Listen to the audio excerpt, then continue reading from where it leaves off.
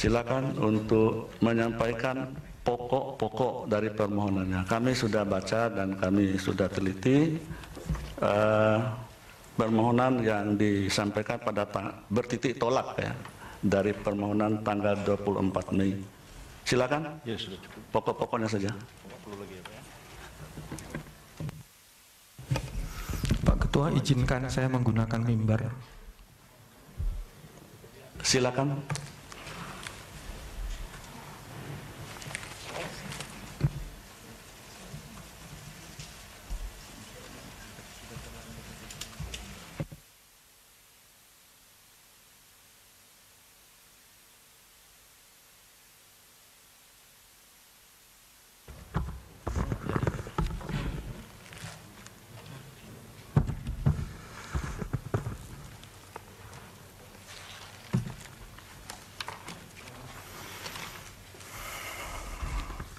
Terima kasih. Pak Ketua. Pada prinsipnya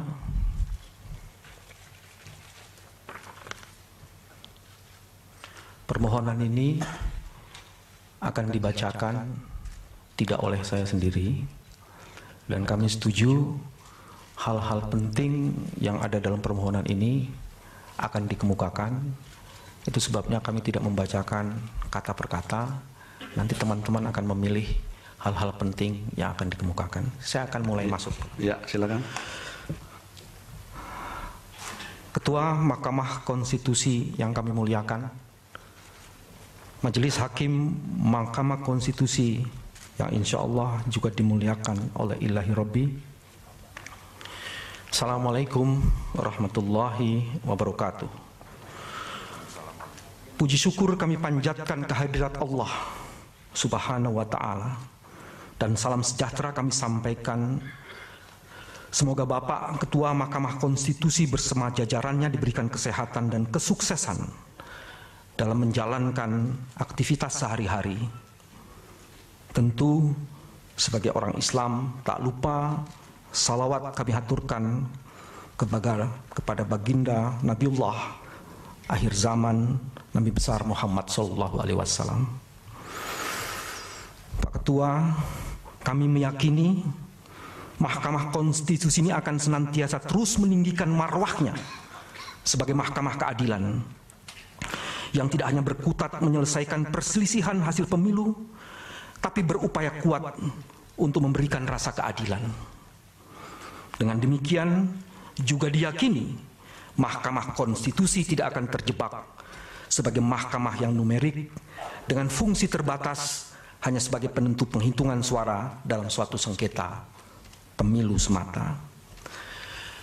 Dalam kedudukannya yang sangat strategis dan kehendak untuk terus-menerus menjaga marwahnya, maka Mahkamah Konstitusi insya Allah akan dimuliakan karena menjadi mahkamah kebaikan yang mewujudkan kemaslahatan rakyat dari para pihak yang tengah berjuang mencari keadilan di negeri yang dicintainya ini. Pada titik ini kelak, insya Allah akan terwujud cita keadilan yang sungguh berpihak pada nilai kejujuran yang hakiki. Yang Jika urusan sengketa dunia terus-menerus ditujukan untuk mewujudkan keadilan, maka pasti dan pasti Allah yang Maha Adil akan melakukan apa yang seharusnya akan diperbuat. Ya, uh, Surat Al-Hajj ayat 69 dan ini tidak saya bacakan. Ya, sebentar Mas Mamba, interupsi jangan dulu nanti ada kesempatan. Baik yang mulia, terima kasih. Silakan Mas Mamba. Kami meyakini Siapa menabur kebaikan, maka dia akan menuai kebahagiaan. Siapa pun menanam kebajikan, maka dipastikan dia akan memanen kemuliaan. Yang mulia, perkenalkan kami tim lawyers yang tadi sudah diperkenalkan yang mewakili kepentingan prinsipal yaitu Bapak Haji Prabowo Subianto yang beralamat di Kampung Gombong RT 003 RW 09 Kelurahan Bojong Koneng, Kecamatan Babakan Madang, Kabupaten Bogor, Jawa Barat. Dan juga Bapak Haji Sandiaga Salahuddin Uno yang beralamat di Jalan Galuh 2 nomor 18 RT 003 RW 01 Kelurahan Selong Kecamatan Kebayan Baru Kota Jakarta Selatan. Mereka adalah pasangan calon presiden dan wakil presiden nomor urut 2 dalam pemilihan umum presiden dan wakil presiden tahun 2019 yang memenuhi syarat berdasarkan keputusan Komisi Pemilihan Umum dan selanjutnya. Untuk selanjutnya disebut sebagai pemohon. Sedangkan pihak kami mengajukan sengketa hasil pemilihan umum ini, hasil pemilihan umum presiden dan wakil, presiden terhadap Komisi Pemilihan Umum yang berkedudukan di Jalan Imam Bonjol nomor 29 Jakarta Pusat yang selanjutnya disebut sebagai termohon. Objek sengketanya yaitu yang kami ajukan untuk dibatalkan adalah keputusan Komisi Pemilihan Umum Republik Indonesia nomor 987 PL.01.08 strip keputusan KPT garis miring 0 garis miring KPU garis miring 5 2019 tentang penetapan hasil pemilihan umum presiden dan wakil presiden, anggota DPR, DPR, DPRD, dan DPR di kabupaten dalam pemilihan lampiran satu lebih jauh karena terkait perlu dimintakan pembatalan atas berita acara KPU RI nomor 135 strip PL strip 01 strip 8 BA 06 KPU 5 2019. Tentu saja pembatalan yang dimohonkan dalam perkara ini adalah hanya untuk keputusan dan berita acara KPU yang tersebut di atas yang berkaitan dengan penetapan hasil pemilihan umum presiden dan wakil presiden. Dalil-dalil pendahuluan tadi tidak kami bacakan seluruhnya Pak Ketua. Beberapa hal penting saja. Majelis Hakim yang kami muliakan. Kita sudah sama memahami negara hukum merupakan cita mulia dari para pendiri bangsa ketika mendirikan negara dan bangsa Indonesia ini. Tentu saja ada prasyarat fundamental dalam mewujudkan negara hukum dan salah satunya adalah diselenggarakannya pemilihan umum secara jujur dan adil. Pendeknya, pilar utama dari sebuah negara demokrasi adalah pemilihan umum. Di dalam konstitusi pasal 22E ayat 1 Undang-Undang Dasar Negara Republik Indonesia tahun 1945 ditegaskan disebut di situ ada prasyarat penting pemilihan umum dilaksanakan tidak hanya secara langsung umum bebas dan rahasia tapi juga jujur dan adil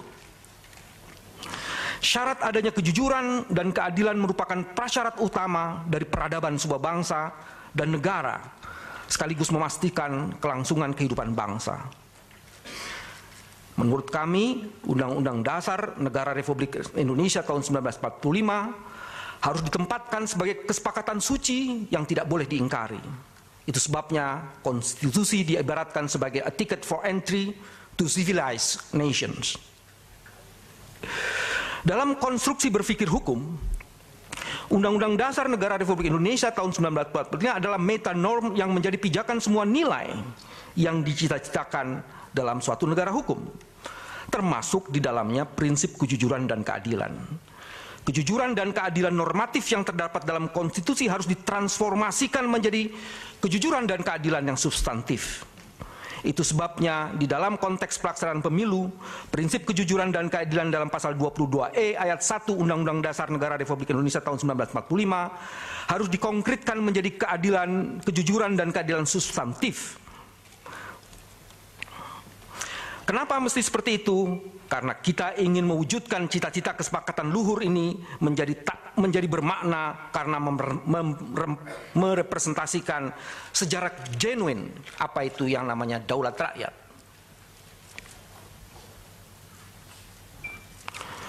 Kejujuran dan keadilan merupakan prinsip dasar penyelenggaraan negara seperti tadi telah disebutkan.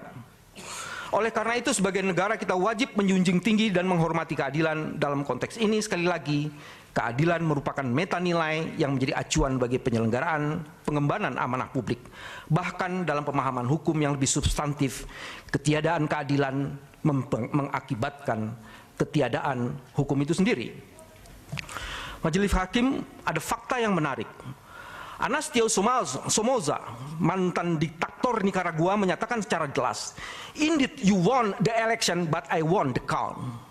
Kalian ini dimaknai sebagai kekuasaan diktator yang punya kekuatan dan kekuasaan otoritas untuk melakukan apa saja yang dikendakinya dengan melakukan berbagai manipulasi, kecurangan, rekayasa atas seluruh fasilitas dan infrastruktur kekuasaan untuk kepentingan dirinya dan kelompoknya guna memenangkan proses tersebut.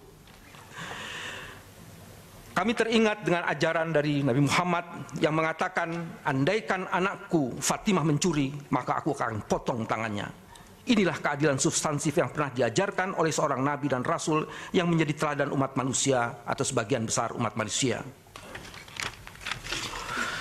Secara konstitusional, kejujuran dan keadilan merupakan norma yang meletakkan kewajiban positif kepada penyelenggara negara dalam mengemban amanah publik sebagaimana diamanatkan dalam konstitusi di mana setiap pasal yang termuat dalam konstitusi adalah metanorm yang meletakkan kewajiban positif bagi negara, pemerintah, dan seluruh pemangku kekuasaan untuk menjamin konstitusi pelaksanaan amanat konstitusi tersebut. Kegagalan dalam menyelenggarakan pemilu, pemilu yang didasarkan, didasarkan pada prinsip-prinsip kejujuran dan keadilan bisa menyebabkan seluruh aktivitas yang dilakukan oleh KPU menjadi inkonstitusional sehingga seluruh produknya bisa dinyatakan sebagai batal demi hukum. Pada bagian ini kami tidak akan membacakan semuanya karena kami meyakini Mahkamah Konstitusi adalah penjaga dari konstitusi, the guardians of the constitution. Mahkamah Konstitusi sebagai the guardian of the constitution bermakna sebagai penegak dan pembuka pintu keadilan agar benar-benar kita mengharapkan dapat mengejawantahkan dirinya sehingga memberikan harapan masa depan akan negara, bangsa bagi pencara, pencari keadilan.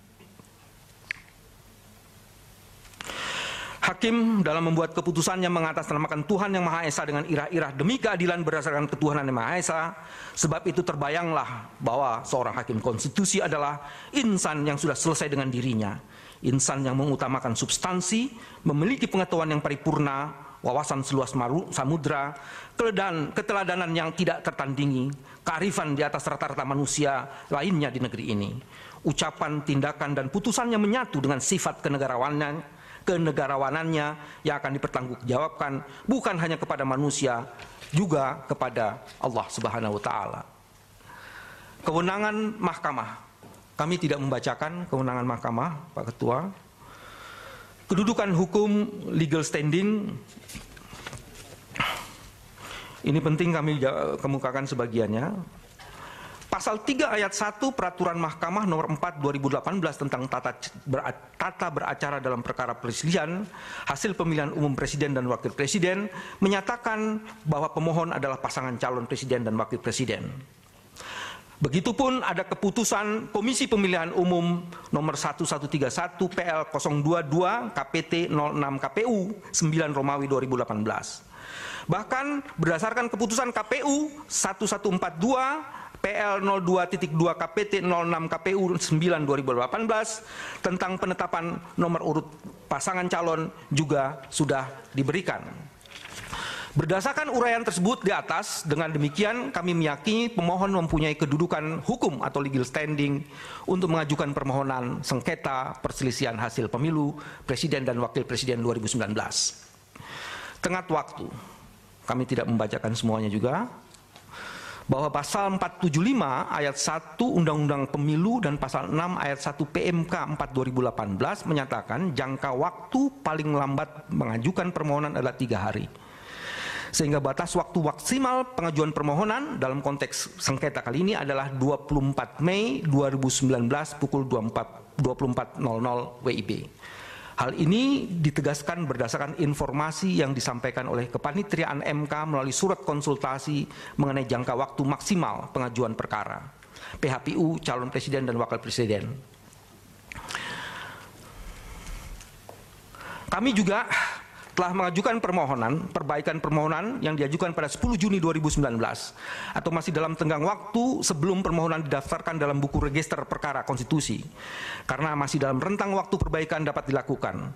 Kami sudah berkonsultasi dan mendapat advis dari juru bicara MK, Fajar Laksono, yang kemudian semuanya ada bukti-buktinya, dan itu sudah kami ajukan bukti-buktinya.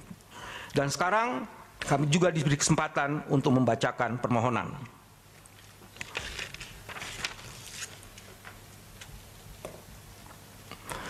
Pak Ketua, saya akan masuk kepada pokok permohonan. Bahwa termohon telah menetapkan perolehan suara masing-masing pasangan calon sebagai berikut. Yang mulia. Insinyur Joko Widodo, Profesor Ya. Dr. Kiai Haji Ma'ruf Amin, suaranya 85 juta 607.362 Sebentar Pak dengan 55 persen. Nanti aja, tidak ada interupsi. Silakan Pak Bambang. 55,50 persen. Haji Prabowo Subianto, Haji Sandiaga, Salahuddin Uno, suaranya 68,68 juta 650 ribu 239 atau 44,50 persen. Bahwa penetapan rekapitulasi hasil penghitungan perolehan suara tersebut tidak sah menurut hukum karena perolehan suara pasangan calon presiden dan wakil presiden nomor urut satu di atas atas nama Insinyur Haji Joko Widodo Profesor Dr. Honoris Causa Kiai Haji Ma'ruf Amin sebanyak 85.607.362 suara dibandingkan dengan pemohon yang memperoleh sebanyak 68.650.239 suara. Yang sebenarnya ditetapkan melalui cara-cara yang tidak benar, melawan hukum, atau tidak-tidaknya dengan disertai dengan penyalahgunaan kekuasaan presiden, petahana yang juga adalah pasangan capres paslon nomor satu. Pelanggaran hukum sedemikian merupakan kecurangan pemilu atau electoral threshold, fraud electoral, yang sifatnya terstruktur, sistematif, dan masif karena merupakan pelanggaran konstitusional atas azas-azas pemilu yang luber, jujur dan adil sebagaimana disebutkan secara tegas di dalam 22E ayat 1 Undang-Undang Dasar 1945. Bahwa data perolehan suara yang benar menurut pemohon setidak-tidaknya adalah sebagai berikut. Insinyur Haji Joko Widodo dan Profesor Dr. Honoraris Causa Kiai Haji Ma'ruf Amin adalah 63.573.169 atau 48 persen, sedangkan Prabowo Subianto Haji Sandiaga Salahuddin Uno berjumlah 68.650.239 atau 52 persen. Bagaimana kecurangan pemilu atau electoral fraud itu dilakukan secara TSM dan bagaimana dampaknya kepada hasil suara 2000 pada Pilpres 2019 akan disampaikan dalam dua argumen dasar yang akan dijelaskan oleh rekan-rekan. Sebelum kami mengakhiri bagian kami, Pak Ketua, dan masuk kepada analisis mengenai kualitatif, ujunkan, izinkan kami menyatakan, mengungkapkan dua hal. Sebelum masuk pada proses pembahasan, pembahasan kami menemukan bahwa calon wakil presiden nomor urut 1, 01, calon wakil presidennya ternyata tidak mengundurkan diri dari jabatan sebagai pejabat BUMN.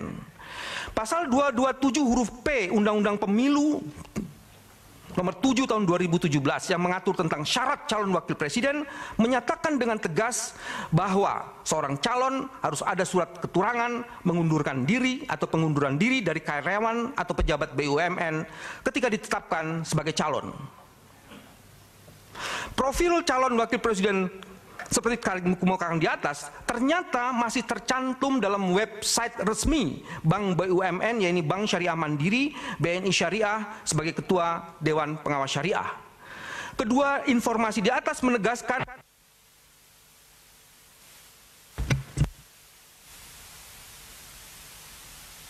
Halo. Masih menjabat sebagai BUMN kendati telah ditetapkan sebagai pasangan calon nomor urut satu setelah pemilu. Sampai hari ini, status calon wakil presiden Maruf Amin tidak berubah. Dan selanjutnya, ada perdebatan di luar Mahkamah Konstitusi, ini mungkin menjadi menarik untuk dikemukakan, saya tidak melanjutkan lagi. Saya masuk di isu kedua, sebelum saya mengakhiri bagian saya. Ada juga informasi mengenai terkait sumbangan dana kampanye.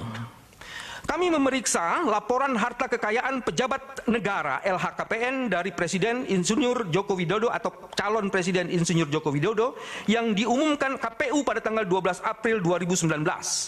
Ada buktinya. Salah satu yang menarik, jumlah kekayaan beliau adalah 50 miliar, tapi kas dari setara kasnya hanya 6 miliar 109 juta 234 ribu 704 rupiah.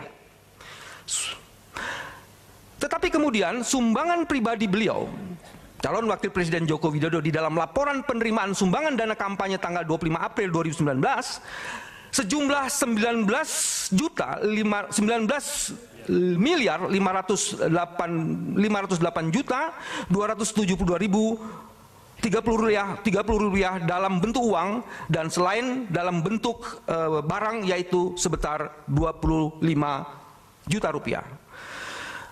Ada yang menarik di situ. Dalam waktu 13 hari ketika diumumkan jumlah kas setara kas yang di dalam harta kekayaan pribadi calon presiden Joko Widodo berdasarkan LHKPN yang dilaporkan tanggal 20, 12 April 2019 ternyata tanggal 25 April beliau sudah mengeluarkan uang sebanyak 19 miliar bahwa berdasarkan laporan penerimaan dana kampanye pasangan calon tersebut tertanggal 25 April ditemukan adanya juga sumbangan dari perkumpulan golfer TRG sebesar 18 miliar 190 juta 500 ribu rupiah dan perkumpulan golfer yang lainnya. Begitupun dengan rilis yang dikeluarkan oleh Indonesia Corruption Watch Ternyata ICW mengatakan ICW menduga golfer RTG dan golfer TBIG adalah dua perusahaan milik seseorang yang merupakan bendahara TKN Jokowi Ma'ruf yaitu PT Tower bersama Infrastruktur TBK dan Teknologi Riset Global Investama. ICW mengatakan sumbangan melalui sumber kelompok perusahaan golfer tersebut diduga mengakomodasi penyumbang yang tidak ingin diketahui identitasnya, mengakomodasi penyumbang yang melebihi batas dana kampanye, dan teknik pemecahan sumbangan dalam penyamaran sumber asli dana kampanye yang diduga umum terjadi dalam pemilu. Dan ada juga satu lainnya, saya ringkas saja, ada sumbangan sebesar 33 miliar rupiah yang terdiri dari nama-nama kelompok tertentu. Begitu dilacak ternyata nama-nama itu mempunyai NPWP pemimpin kelompok. Itu sama. Dan identitasnya juga sama. Bukankah ini penyamaran? Sumbangan berasal dari alamat dan MPWP pemimpin kelompok yang sama dengan total 33 miliar 963 juta 880 rupiah serta identitas pemberi sumbangan yang juga tidak jelas di mana ketiga NPW sama tersebut namun niknya berbeda. Majelis Hakim yang kami muliakan, ini bagian terakhir dari bagian saya. Bahwa demikian sudah sangat jelas ada indikasi dugaan menyamarkan sumber asli dana kampanye yang bertujuan memecah sumbangan agar tidak melebihi batas dana kampanye dari kelompok yaitu sebesar 25 miliar. Pada fakta sumbangan dari kelompok dengan pimpinan yang sama, bukti NPWP dan alamat sama sebesar 33 miliar lebih itu. Dan juga ada nik yang berbeda padahal nomor NPWP yang sama patut diduga ada ketidakjelasan dari penjunang dana kampanye dari sumbangan 33 miliar tersebut. Majelis Hakim, saya ingin berhenti sampai di situ. Akan ada teman lain yang akan membacakan dan juga hanya pokok-pokoknya saja. Terima kasih majelis. Ya. Baik, silakan.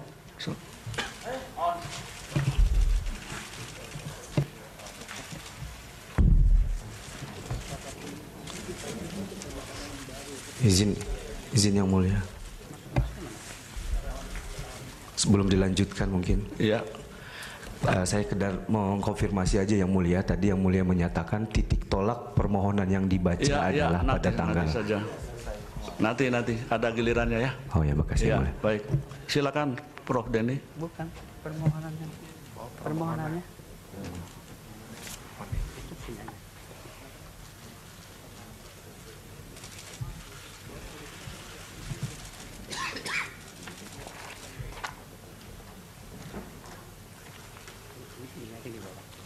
Oh iya baik. Ya. Tunggu saya matikan ininya. Harusnya ditampilin. Iya. Gimana caranya itu? Tunggu sebentar.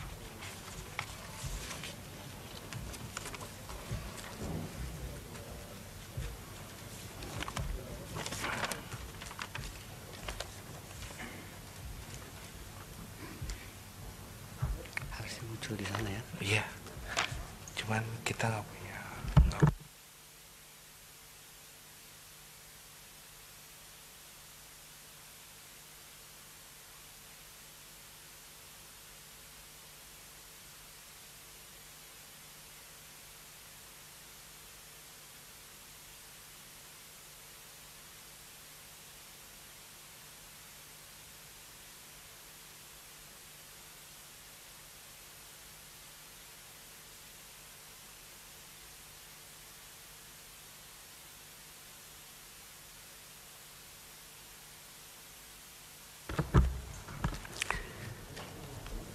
Izin Majelis Hakim Konstitusi yang mulia, izin melanjutkan. Kami akan membacakan uh, poin dari argumentasi kualitatif. Berikut adalah argumentasi kualitatif yang menegaskan bahwa telah terjadi kecurangan pemilu, electoral fraud, yang sifatnya terstruktur, sistematis, dan masif yang dilakukan oleh pasangan calon presiden dan calon wakil presiden Insinyur Haji Joko Widodo dan Profesor Dr. Honoris Causa Kiai Haji Ma'ruf Amin paslon 01 dalam pemilihan umum presiden 2019 atau Pilpres 2019.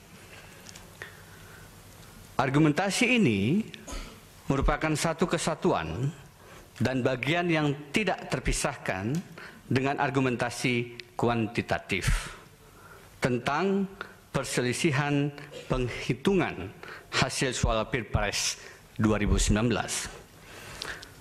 Perlu ditegaskan, pemohon sangat mafhum bahwa terkait dengan argumentasi kualitatif ini, khususnya bangunan teoritiknya, tentunya sudah sangat fasih dikuasai oleh Majelis Hakim Konstitusi yang mulia. Karena itu, argumentasi kualitatif teoritik yang pemohon paparkan berikut ini lebih bertujuan untuk menyegarkan kembali ingatan kita bersama. Di samping itu, paparan teoritik ini diperlukan karena persidangan perselisihan hasil Pilpres 2019 ini akan secara luas disaksikan oleh masyarakat. Maka dasar teoretik demikian menjadi perlu untuk diuraikan. Agar mudah difahami, terlebih dahulu kami jelaskan bagaimana alur logika argumentasi kualitatif tersebut disusun yaitu sebagai berikut. Jika dirumuskan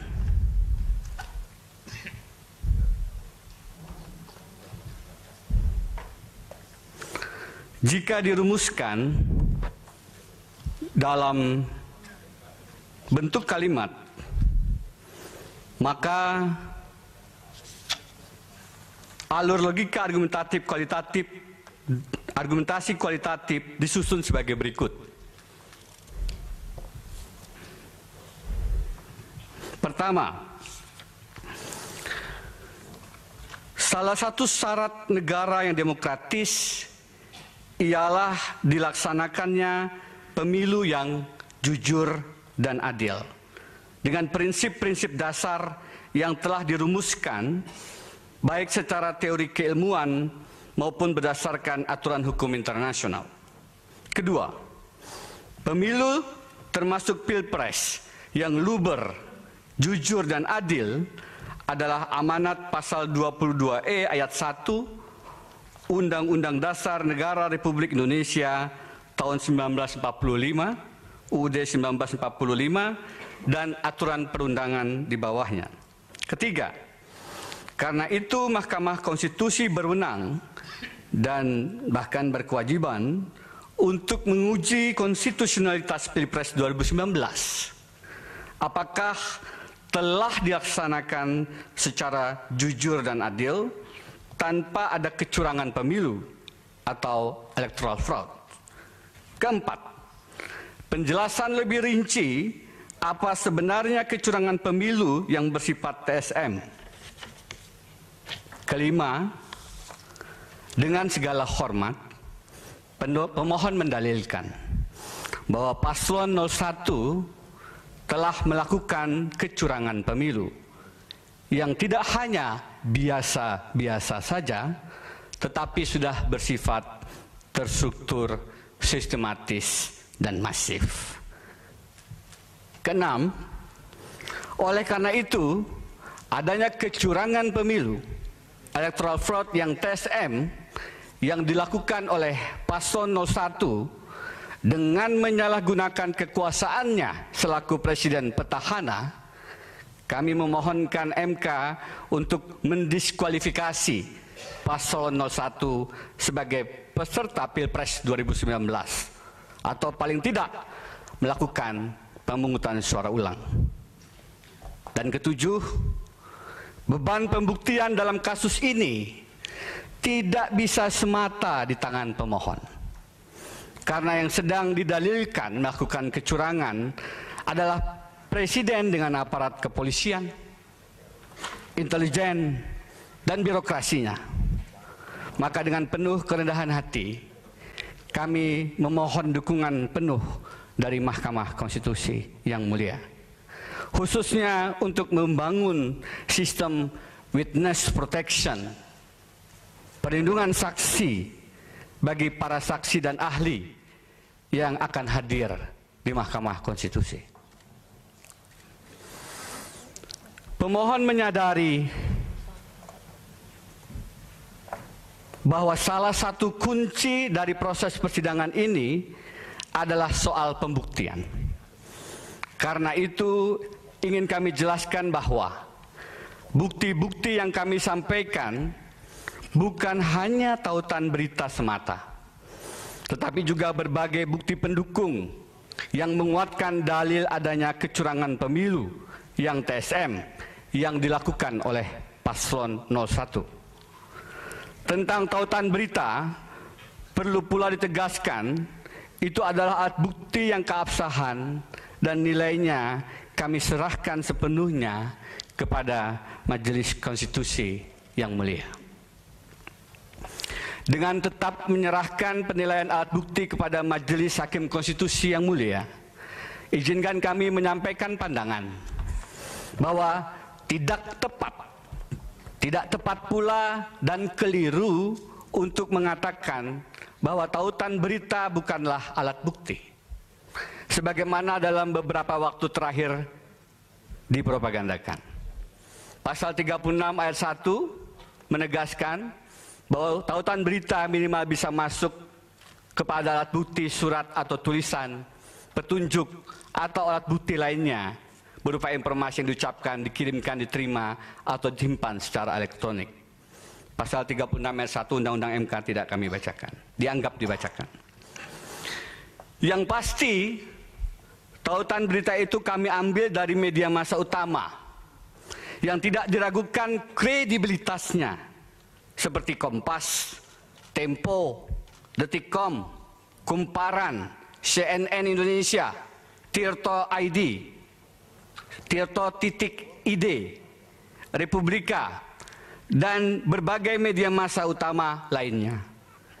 Kami meyakini isi berita tersebut dan menghormati sistem kerja rekan-rekan media yang telah melakukan cek and recheck sebelum mempublikasikan berita tersebut. Apalagi sebagian besar dari tautan itu adalah peristiwa fakta yang tidak dibantah oleh yang diberitakan. Sehingga diakui kebenarannya, mempunyai nilai bukti sebagai pengakuan. Apa pun, sekali lagi, kekuatan alat bukti tersebut kami serahkan sepenuhnya kepada Majelis Hakim Konstitusi yang mulia untuk menilainya. Kami masuk pada prinsip-prinsip dasar pemilu yang jujur dan adil. Soal prinsip dasar pemilu yang jujur dan adil tentunya tidak bisa dipisahkan dari teori keadilan, electoral justice. Dalam artikelnya di harian Kompas, 14 Februari 2014, berjudul Pemilu Berintegritas dan Adil, Profesor Ramlan Subakti berpendapat ada tujuh kriteria yang harus dipenuhi untuk terwujudnya pemilu yang adil dan berintegritas, yaitu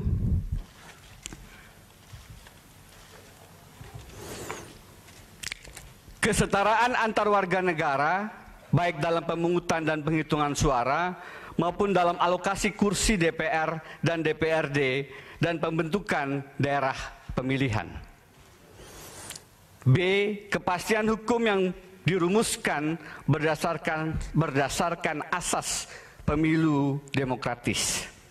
C. Persaingan bebas dan adil antar kontestan pemilu. D partisipasi seluruh pemangku kepentingan dalam seluruh rangkaian penyelenggaraan tahap pemilu. E. Badan penyelenggara pemilu yang profesional, independen, dan imparsial. F. Integritas pemungutan, penghitungan, tabulasi, dan pelaporan suara pemilu. G. Penyelesaian sengketa pemilu yang adil dan tepat waktu tanpa mengurangi arti penting kriteria yang lain yang sebenarnya juga problematik dalam Pilpres 2019. Tetapi agar lebih mudah dan efisien, pemohon ingin lebih fokus mempersoalkan kriteria ketiga, yaitu persaingan bebas dan adil antar kontestan pemilu. Dan mendalilkan bahwa dalam Pilpres 2019, persaingan yang bebas dan adil demikian tidaklah terjadi di antara peserta Pilpres 2019. Yang dihadapi oleh pasangan calon presiden dan calon wakil presiden Haji Prabowo Subianto dan Haji Sandiaga Salahuddin Uno paslon 02 bukanlah paslon 01 tetapi sebenarnya adalah presiden petahana Joko Widodo yang menyalahgunakan kekuasaannya, abuse of power, dan memanfaatkan fasilitas negara yang melekat padanya, termasuk penyalahgunaan anggaran negara dan aparatur negara. Uraian lebih rinci akan dipaparkan ketika membahas alur logika kelima, bahwa paslon 01 telah melakukan kecurangan pemilu yang tidak hanya biasa-biasa saja, tetapi sudah bersifat TSM, terstruktur, sistematis, dan masif. Sejalan dengan pendapat Profesor Ramlan Surbakti di atas, International Idea dalam serial dalam seri buku panduannya tahun 2002 berjudul Standar-standar internasional untuk pemilihan umum pedoman peninjauan kembali kerangka hukum pemilu menegaskan 15 kriteria untuk terwujudnya pemilu yang bebas dan adil, free and fair election. Di antara ke-15 kriteria tersebut, lagi-lagi tanpa mengurangi arti penting kriteria yang lain, semata-mata untuk fokus dan efisiensi, pemohon ingin menggarisbawahi kriteria ke-6 hingga ke-12 yaitu yang menurut pemohon paling bermasalah dalam pelaksanaan Pilpres 2019. Sebagaimana dikutip oleh Dr. Refli dalam disertasinya. Kutipan kami bacakan karena kami anggap penting. Keenam, kerangka hukum tanpa mewajibkan penyimpanan daftar pemilih secara transparan dan akurat melindungi hak warga negara yang memenuhi syarat untuk mendaftar dan mencegah pendaftaran atau pencoretan orang secara tidak sah atau curang. Ketujuh, kerangka hukum seharusnya menjamin semua partai politik dan kandidat dapat bersaing dalam pemilu atas dasar perlakuan yang adil. Kedelapan, kerangka hukum harus menjamin setiap partai politik dan kandidat menikmati hak atas kebebasan mengeluarkan pendapat dan kebebasan berkumpul dalam dan dan memiliki akses terhadap para pemilih dan semua pihak yang terkait dalam proses pemilihan semua dalam proses pemilihan memiliki peluang keberhasilan yang sama. Kesembilan, kerangka hukum harus menjamin semua partai politik dan kandidat memiliki akses ke media dan mereka diperlakukan secara adil oleh media yang dimiliki atau dikendalikan oleh negara. Juga tidak ada pembebasan, sorry, juga tidak ada pembatasan kebebasan dan hak berekspresi partai politik dan para kandidat selama kampanye berlangsung. Kesepuluh, kerangka hukum harus memastikan semua partai politik dan kandidat diperlakukan secara adil oleh ketentuan hukum yang mengatur pembiayaan dan pengeluaran kampanye. Kesebelas, kerangka hukum harus memastikan tempat pemungutan suara dapat diakses, terdapat pencatatan yang akurat atas kertas suara, dan kerahasiaan kertas suara terjamin. Kedua belas, kerangka hukum harus memastikan agar semua suara dihitung dan ditabulasikan dengan akurat, merata, adil, dan terbuka.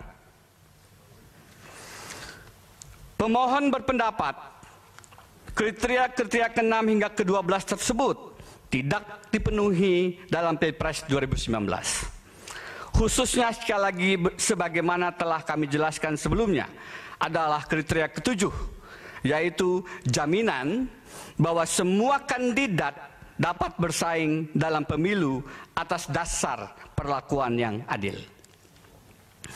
Jaminan itu memang secara hukum seakan-akan dipenuhi, namun dalam praktiknya terjadi penyimpangan secara mendasar.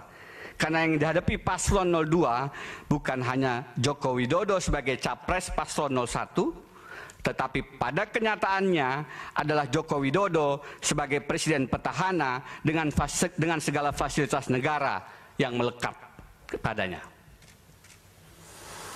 Secara internasional, Ketidaksetaraan kesempatan di antara kontestan pemilu juga bertentangan dengan Code of Good Practice in Electoral Matters.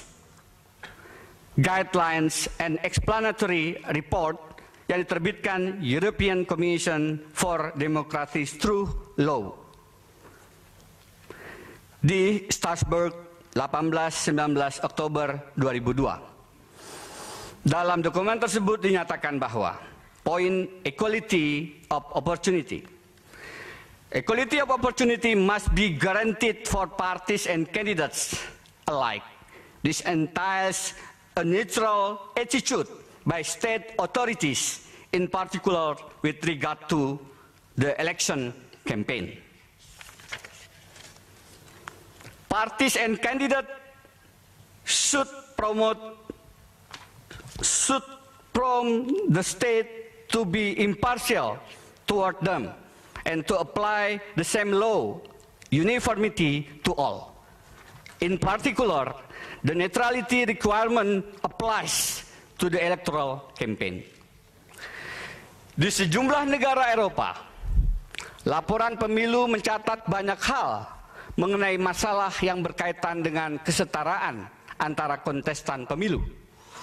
Utamanya kaitannya dengan penyalahgunaan sumber daya negara dalam proses pemilihan. Mulai dari tekanan pada pegawai negara untuk memajang materi kampanye, hingga penyalahgunaan properti negara yang terjadi baik di tingkat nasional maupun lokal di negara-negara Eropa. Dalam kaitan itu, Venice Commission Report mendefinisikan penyalahgunaan sumber daya publik pemerintah sebagai perilaku yang melanggar hukum. Kandidat dan partai politik yang berkuasa untuk menggunakan posisi resmi mereka atau koneksi ke lembaga pemerintah yang bertujuan untuk mempengaruhi hasil pemilu. Laporan ini menyoroti masalah praktik yang terus-menerus atau sering atau penyalahgunaan atau administratif sumber daya oleh pegawai pemerintah atau pegawai negeri sipil selama proses pemilihan. Seperti sebagai berikut. Praktik yang dapat menyebabkan penyalahgunaan atau administrasi sumber daya. Memberikan keuntungan yang tidak semestinya bagi partai politik dan kandidat yang berkuasa menghadapi para penantang mereka sehingga mempengaruhi kesetaraan proses pemilu. Penyalahgunaan sumber daya negara mencakup penggunaan peralatan yang tidak sesuai, seperti penggunaan telepon, kendaraan, ruang rapat, dan lain-lain. Serta akses ke sumber daya manusia, contohnya pegawai negeri sipil, pejabat, dan lain-lain. Di kementerian dan di antara lembaga publik teritorial dan lokal yang bertujuan mempromosikan kegiatan kampanye para kandidat. Pelanggaran semacam itu memicu pada ketidaksetaraan antara kandidat, terutama antara kandidat dan partai politik lainnya. Masih dalam konteks teori keadilan pemilu, International Idea dalam bukunya tahun 2010 berjudul Electoral Justice, The International Idea Handbook mengartikan electoral justice lebih pada perspektif sistem penyelesaian sengketa pemilu yang adil dan tepat waktu. Dalam konteks ini, paradigma keadilan pemilu adalah jaminan terhadap hak pilih warga negara. Jika hak tersebut termanipulasi, maka sistem keadilan pemilu harus mampu mengembalikannya. Saya ulangi, jika hak tersebut termanipulasi, maka sistem keadilan pemilu harus mampu mengembalikannya. Dalam konteks itu, keadilan pemilu atau electoral justice adalah jaminan proses hukum bahwa dalam hal hak suara rakyat pemilih dimanipulasi, misalnya karena kecurangan pemilu, maka harus ada forum peradilan konstitusional untuk menyelamatkannya. Dalam konteks Indonesia, peranan demikian tentu saja dilakukan oleh Yang Mulia Mahkamah Konstitusi, bukan yang lain. Lebih jauh, soal peran konstitusional MK tersebut diuraikan lebih rinci pada alur logika ketiga yang menegaskan MK berwenang dan bahkan berkewajiban untuk menguji konstitusionalitas Pilpres 2019. Apakah telah dilaksanakan secara jujur dan adil tanpa adanya kecurangan pemilu.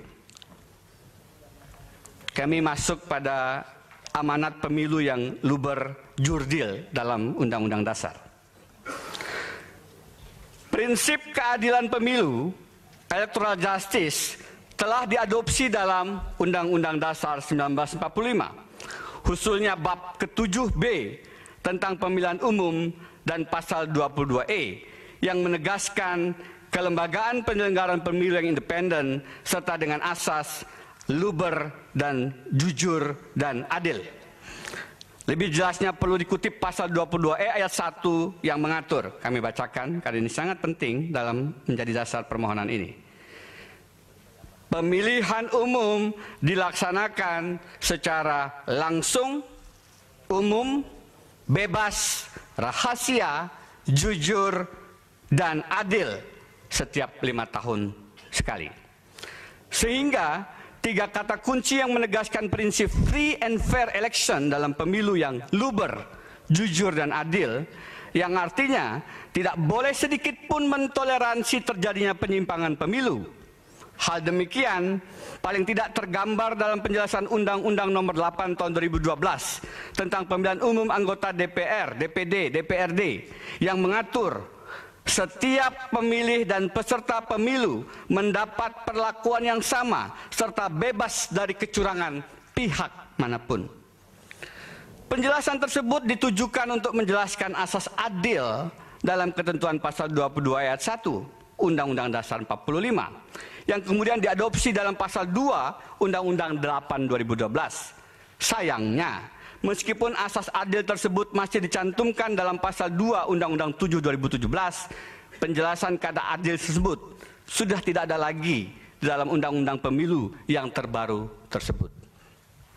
Meskipun demikian, penjelasan umum Undang-Undang 7 2017 tentang pemilu masih tetap menjelaskan keterkaitan antara dalam tanda kutip, kedaulatan berada di tangan rakyat sebagaimana diatur dalam pasal 1 ayat 2 Undang-Undang Dasar 45 yang diwujudkan melalui pemilu sebagai sarana bagi rakyat untuk memilih pemimpin melalui pilpres yang dipilih dalam satu pasangan secara langsung.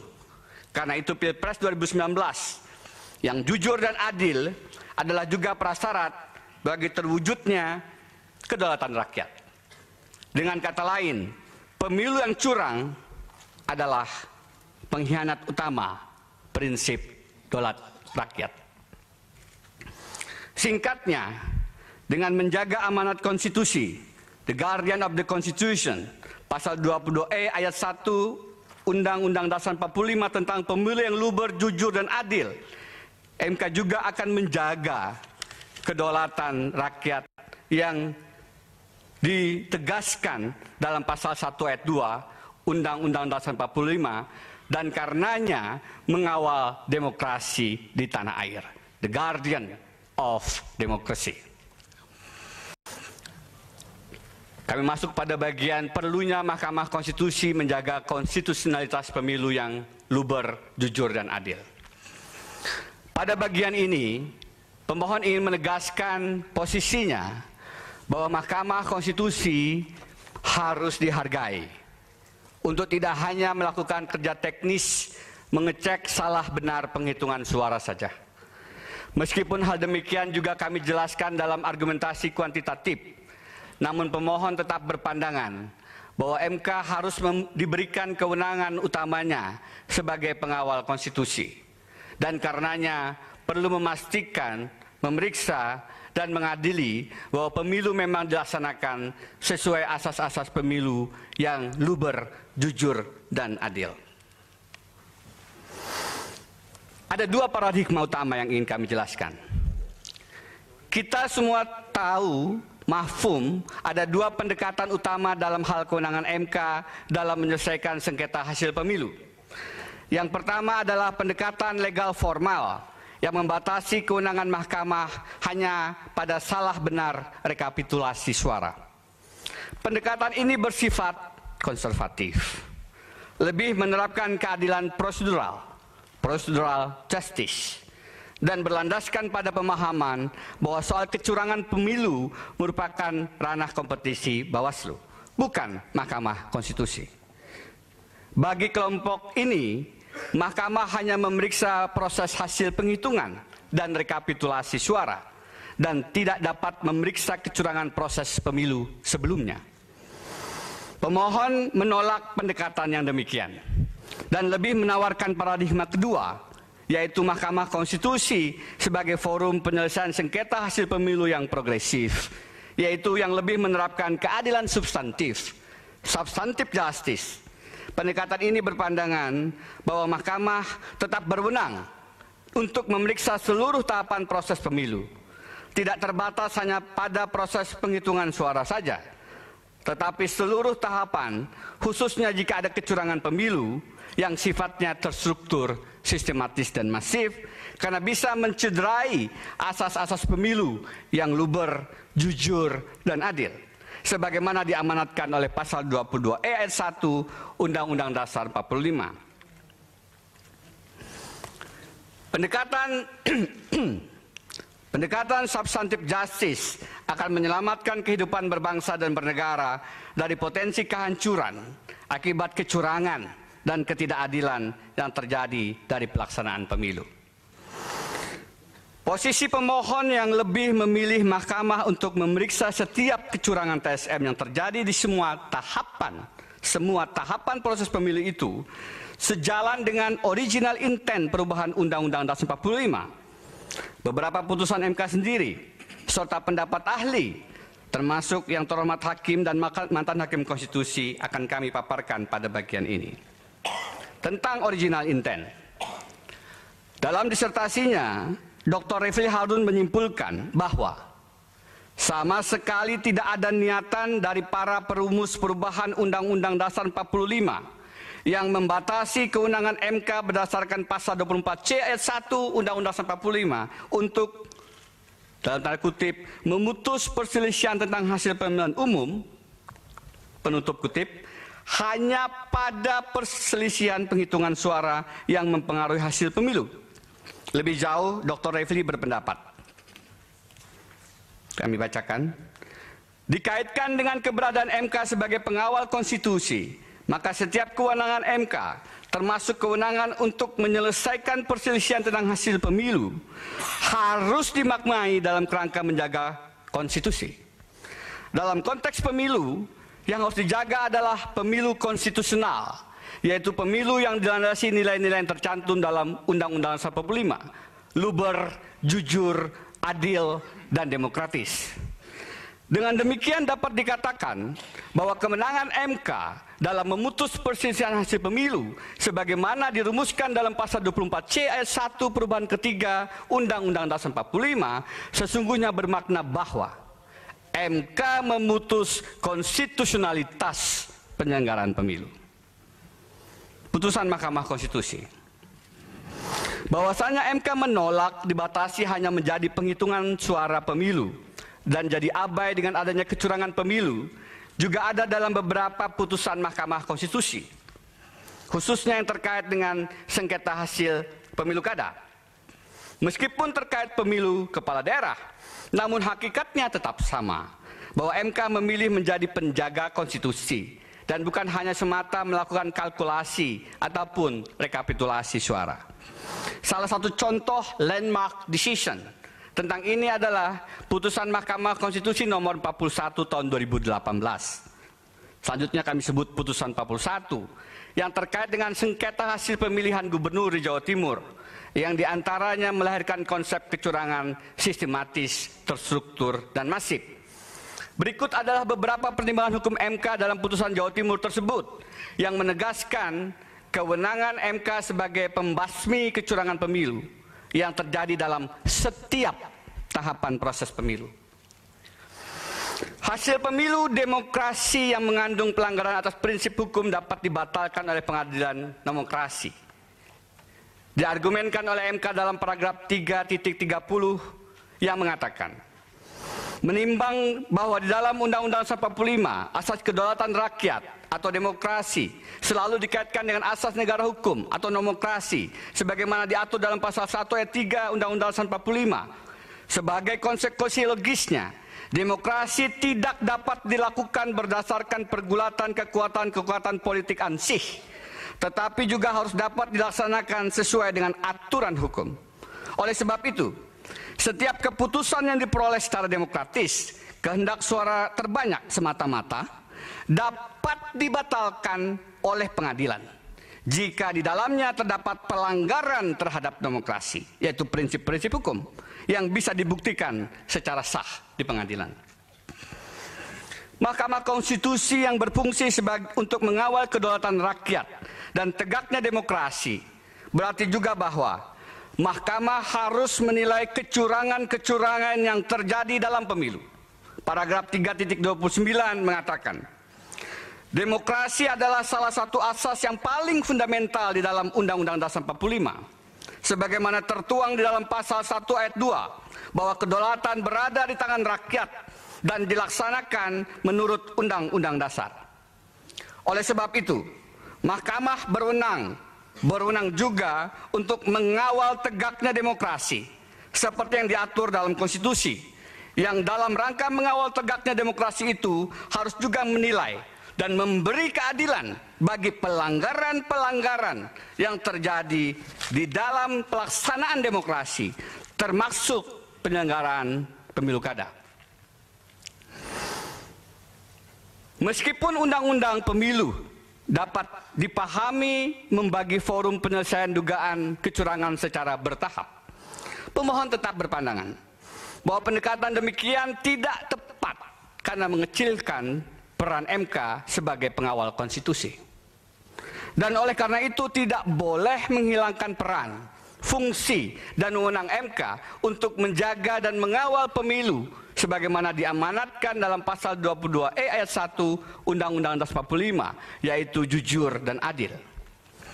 Pemilu haruslah dipahami sebagai satu kesatuan proses yang bukan hanya ditentukan pada hari H pemungutan suara, tetapi sebagai tetapi bagaimana seluruh proses dijalankan secara fair. Pasangan capres yang dipilih pada hari pemungutan suara adalah akibat dari rangkaian proses pemilu yang terjadi sebelumnya. Jadi, kalau proses sebelumnya berjalan dengan curang, maka pemungutan suara yang dihasilkan seharusnya tidak dapat diterima apalagi disahkan. Mahkamah Konstitusi tidak boleh dikerangkeng untuk hanya memeriksa hasil suara saja. Tetapi mahkamah harus berwenang menilai keseluruhan proses agar berjalan sesuai rambu-rambu pemilu yang tidak curang, yaitu pemilu yang jujur dan adil. Paragraf 3.25 mengatur dari putusan 41. Tidak dapat dinafikan bahwa seluruh penyimpangan yang terjadi dalam proses dan tahapan pemilu kada akan sangat berpengaruh secara mendasar pada hasil akhir. Hal demikian tidak dimaksudkan untuk mengambil alih kewenangan memutus pelanggaran dan penyimpangan dalam proses pemilu kada, melainkan menilai dan mempertimbangkan implikasi yang timbul dalam proses perolehan ulangi, melainkan menilai dan mempertimbangkan implikasi yang timbul dalam perolehan suara yang dihitung dalam rekapitulasi penghitungan suara yang dilakukan oleh KPU. bahwasanya mahkamah tetap berwenang memeriksa kecurangan atau pelanggaran pemilu dalam setiap tahapan pemilu tidak hanya terbatas pada hasil penghitungan suara saja telah ditegaskan dalam paragraf 3.28 putusan 41 yaitu larangan bagi mahkamah untuk menangani kasus pelanggaran dan tindak pidana dalam pemilu kada harus diartikan bahwa mahkamah tidak boleh melakukan fungsi peradilan pidana atau peradilan administrasi. Namun tetap boleh mempermasalahkan dan mengadili setiap pelanggaran yang berakibat pada hasil penghitungan suara. Bahwasanya mahkamah tidak dapat dibatasi kewenangannya oleh undang-undang. Terlebih jika pembatasan demikian bertentangan dengan tugas mahkamah sebagai pengawal konstitusi juga dikuatkan dalam putusan 41 yaitu paragraf 3.27 karena sifatnya sebagai peradilan konstitusi mahkamah tidak boleh membiarkan aturan-aturan keadilan prosedural prosedural justice memasung dan mengesampingkan keadilan substantif substantif justice. Paragraf 3.31 menimbang bahwa peradilan menurut Undang-Undang Dasar 45 harus menganut secara seimbang asas keadilan, asas kepastian hukum, dan asas manfaat, sehingga mahkamah tidak dapat dipasung hanya oleh, hanya oleh bunyi undang-undang, melainkan juga harus menggali rasa keadilan dengan tetap berpedoman pada makna substantif undang-undang itu sendiri. Paragraf 4.4 putusan 41 dalam mengadili perkara ini Mahkamah tidak dapat dipasung hanya oleh ketentuan undang-undang yang ditafsirkan secara sempit. Yaitu bahwa mahkamah hanya boleh menilai hasil pemilu kada dan melakukan penghitungan suara ulang. Dari berita acara atau rekapitulasi yang dibuat secara resmi oleh KPU Provinsi Jawa Timur. Sebab kalau hanya berpedoman pada hasil penghitungan suara normal yang dibuat oleh termohon, tidak mewujudkan kebenaran material sehingga akan sulit ditemukan keadilan. Lebih jauh dalam keputusan yang sama, putusan 41, Mahkamah Konstitusi dengan tegas menolak untuk dibatasi oleh peraturan perundang-undangan yang tidak sejalan dengan prinsip pemilu yang jujur dan adil. Jelasnya, mahkamah menegaskan mempunyai kewenangan dan keleluasaan untuk mengadili pelanggaran, penyimpangan, termasuk kecurangan yang terjadi dalam tahapan pemilu mana pun, khususnya yang mempengaruhi perolehan suara pasangan calon. Lebih lengkapnya paragraf 3.26 putusan 41 mengatur. Ketentuan-ketentuan perundang-undangan yang berlaku akan dilihat dan diartikan dalam kerangka prinsip-prinsip dan spirit yang terkandung dalam Undang-Undang Dasar 45. Sedemikian rupa sehingga memberi keleluasaan untuk menilai bobot pelanggaran dan penyimpangan yang terjadi dalam keseluruhan tahapan proses pemilu kada dan kaitannya dengan perolehan hasil suara bagi para pasangan calon. Pak Ketua, mohon izin bicara dengan rekan saya Pak Kua untuk untuk satu menit. Oh, dengan dengan Pak Dir. Prof dan ya, ya. silakan.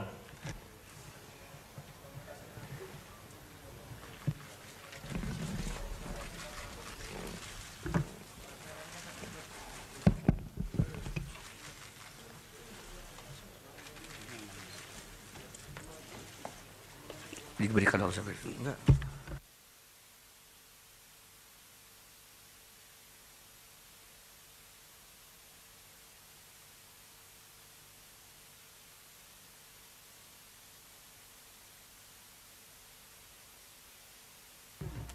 Sudah? Ya, silakan, Prof. Izin yang mulia melanjutkan. Singkatnya, tinggal tiga poin lagi ketua. Singkatnya Mahkamah Konstitusi harus dapat memberikan penilaian atas kejujuran dan keadilan peserta pemilu kada dalam berkompetisi. Adalah bertentangan dengan konstitusi jika Mahkamah hanya menghitung suara. Dalam paragraf 3.27 putusan 41 Mahkamah mengatakan, satu prinsip hukum dan keadilan yang dianut secara universal menyatakan tidak seorang pun boleh diuntungkan oleh penyimpangan dan pelanggaran yang dilakukannya sendiri dan tidak seorang pun boleh dirugikan oleh penyimpangan dan pelanggaran yang dilakukan orang lain. Karenanya kewenangan Mahkamah Konstitusi untuk mengadili perkara sengketa hasil Pilpres bukan hanya berarti menghitung ulang rekapitulasi suara, tetapi lebih jauh dari itu adalah menegakkan keadilan. Kutipan kami anggap dibacakan. Penegasan bahwa mahkamah bukan hanya menjalankan fungsi hitung-menghitung suara semata dan harus menegakkan keadaan substantif, utamanya jika ada kecurangan sifatnya STM, juga ditegaskan dalam paragraf 4.5. Terakhir, yang mulia, bagian saya, butir 65, untuk selanjutnya akan saya serahkan kepada sejawat kami. Sekali lagi, meskipun merupakan putusan Mahkamah Konstitusi dalam hal pemilu kada gubernur di Jawa Timur. Namun dalil-dalil dalam putusan 41 di atas tetaplah relevan dan patut dijadikan rujukan bagi pemilu-pemilu lainnya, tidak terkecuali bagi pemilihan presiden. Apalagi inilah kali pertama Mahkamah memunculkan argumentasi pelanggaran serius yang sifatnya TSM. Argumentasi yang kemudian sering disingkat menjadi TSM tersebut kemudian banyak menjadi rujukan dan dijadikan dalil dalam berbagai permohonan sengketa hasil pemilu DMK. Kami izin yang mulia untuk meminta rekan Lutfi Yazid untuk meneruskan membacakan permohonan. Oh, rekan sorry. Ya, Tuku Nasrullah. Ya, silakan. Tapi begini, dengan catatan, kalau sampai jam 11.00 belum selesai, kita skor dulu karena ini hari Jumat. Habis salat Jumat baru kita lanjutkan. Uh, uh, sebentar, ini kan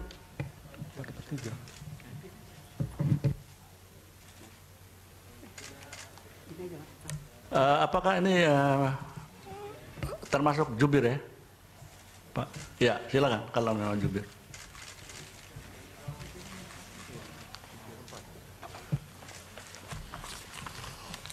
Terima kasih Yang Mulia.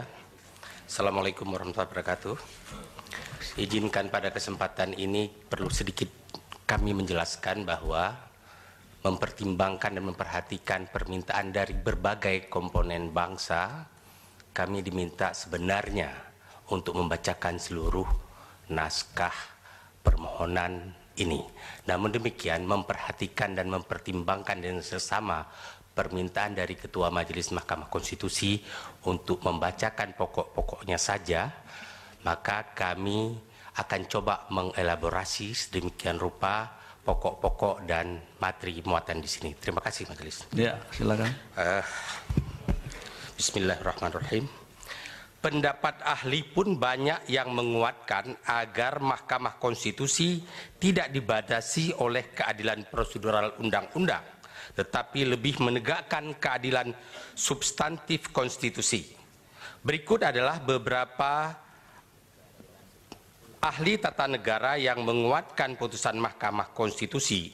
Yang pertama adalah Profesor Dr. Yusril Ihza Mahendra yang pada intinya menerangkan sebagai berikut. Kami kutip yang penting-pentingnya saja. MK sendiri dalam menjalankan kewenangannya untuk melangkah ke arah yang lebih substansial, substansial dalam memeriksa, mengadili dan memutus sengketa pemilihan umum, khususnya dalam hal perselisihan pemilihan umum presiden dan wakil presiden. Selanjutnya kutipan, Masalah substansial dalam pemilu itu sesungguhnya adalah terkait dengan konstitusionalitas dan legalitas dari pelaksanaan pemilu itu sendiri. Yakni, adakah masalah-masalah fundamental yang diatur di dalam konstitusi seperti azas-azas pelaksanaan pemilu yakni langsung, umum, bebas, dan rahasia jujur dan adil telah dilaksanakan dengan semestinya atau tidak. Berikutnya, beliau juga menerangkan, memeriksa dengan seksama konstitusionalitas dan legalitas pelaksanaan pemilu dan memutuskannya dengan adil dan bijaksana menjadi sangat penting dilihat dari sudut hukum tata negara. Ada baiknya dalam memeriksa perkara PHPU pemilihan presiden dan wakil presiden Kali ini Mahkamah Konstitusi melangkah ke arah itu. Kemudian pendapat ahli lain, Profesor Saldi Isra, draft RUU Pilkada dapat membuat batasan minimal selisih suara yang dapat diajukan ke MK. Misalnya dalam sengketa pemilu Gubernur Sulawesi Selatan dengan selisih antara sekitar 500 ribu, pasangan yang kalah masih mengajukan gugatan ke MA, ke MK. Padahal dalam penalaran yang wajar, selisih itu tidak mungkin lagi bisa dibuktikan terjadi kesalahan dalam penghitungan suara. Pembatasan tersebut bisa diterobos sekiranya alasan permohonan karena adanya pelanggaran yang bersifat terstruktur, sistematis, dan masif. Kemudian ahli hukum tata negara Dr. Refli Harun kami tidak bacakan lagi. Kemudian ada juga ahli hukum tata negara Dr. Zainal Arifin Mukhtar. Mohon izin kami tidak bacakan lagi. Kemudian Bivit Sri Susanti, Kemudian ada ahli lagi, Ferry Amsari, Direktur Pusat Studi Konstitusi, Fakultas Hukum Universitas Andalas. Kemudian ada lagi ahli Bayu Dwi Anggor, Anggono, Direktur Pusat Pengkajian Pancasila dan Konstitusi Puskapsi, Fakultas Hukum Universitas Jember. Kemudian ada juga ahli Ferry Junaldi, ada Direktur Eksekutif Perkumpulan untuk Pemilu Demokrasi Perludem Titi Anggraini, pendapat hakim atau mantan hakim konstitusi terkait dengan kewenangan MK untuk memeriksa konstitusionalitas pemilu yang jujur dan adil dan tidak semata menghitung selisih suara berikut kami paparkan. Salah satunya adalah Profesor Dr. Arif Hidayat. Kami kutip, untuk mencapai demokrasi substansial, substansial, MK dapat pula mengadili tidak hanya pada sengketa hasil pemilu, melainkan juga pada keseluruhan proses pemilu sepanjang proses itu terbukti dalam persidangan melanggar azas pemilu yang luber dan jurdil. Hal ini merupakan ikhtiar MK untuk mencapai demokrasi yang substansial, yang substansial bukan hanya demokrasi yang melulu bersifat prosedural. Oleh karena itu, pemilihan umum harus dilaksanakan secara langsung, umum, bebas dan rahasia, jujur dan adil. Tidak boleh ada lagi suara pemilih yang tidak dihitung atau dimanipulasi karena hal tersebut sama saja halnya dengan menyelewengkan kedaulatan rakyat. Beliau juga berpandangan Wewenang MK bukan sekedar menghitung perselisihan suara saja, tetapi wajib mencari keadilan atas pelanggaran prinsip-prinsip pemilu yang demokratis. Selanjutnya beliau menerangkan, namun ketika melihat adanya prinsip dan azas pemilu yang dilanggar sehingga menyebabkan munculnya ketidakadilan dalam pelaksanaan pemilu, maka MK secara hati-hati dan selektif akan mengadilinya. Dalam hal ini MK menja telah menjalankan fungsinya sebagai pengawal demokrasi dan penduk pelindung hak konstitusional warga negara. Kemudian ada juga pendapat Prof. Jimli Asidik. Jadi, kata beliau, semangatnya jangan hanya membatasi perkara, tapi semangat itu di dalam proses pembuktian kecurangan dalam pemilu. Kemudian Prof. Mahfud juga mengatakan, kedua, ketentuan tersebut menghambat ditegaknya keadilan substantif yang berpendapat bahwa untuk menjaga kualitas demokrasi, maka pelanggaran-pelanggaran yang memenuhi unsur TSM dalam pemilu harus dibatalkan. Prof.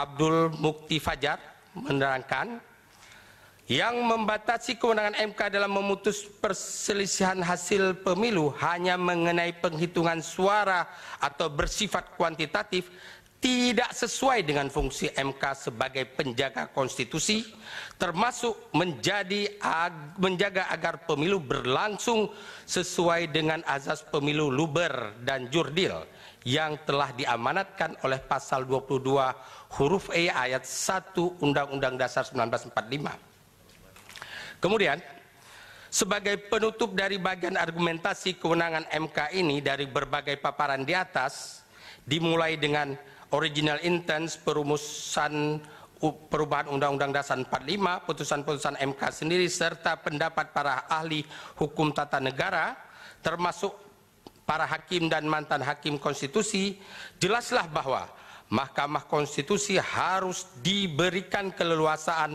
untuk mengadili konstitusionalitas pemilu yang jujur dan adil sebagaimana diamanatkan dalam pasal 22 huruf E ayat 1 Undang-Undang Dasar 45. Kemudian kecurangan TSM.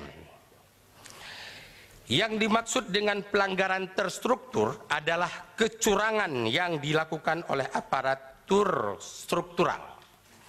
Baik aparatur pemerintah maupun penyelenggara pemilihan secara kolektif dan secara bersama-sama. Kemudian izinkan kami majelis untuk langsung meloncat ke dalil berikutnya tentang pelanggaran pilpres yang TSM. Akhir-akhir ini ketika kita mendiskusikan pelanggaran Pilpres 2019 sering sekali ruang publik dibatasi hanya pada pasca pencoblosan 17 April 2019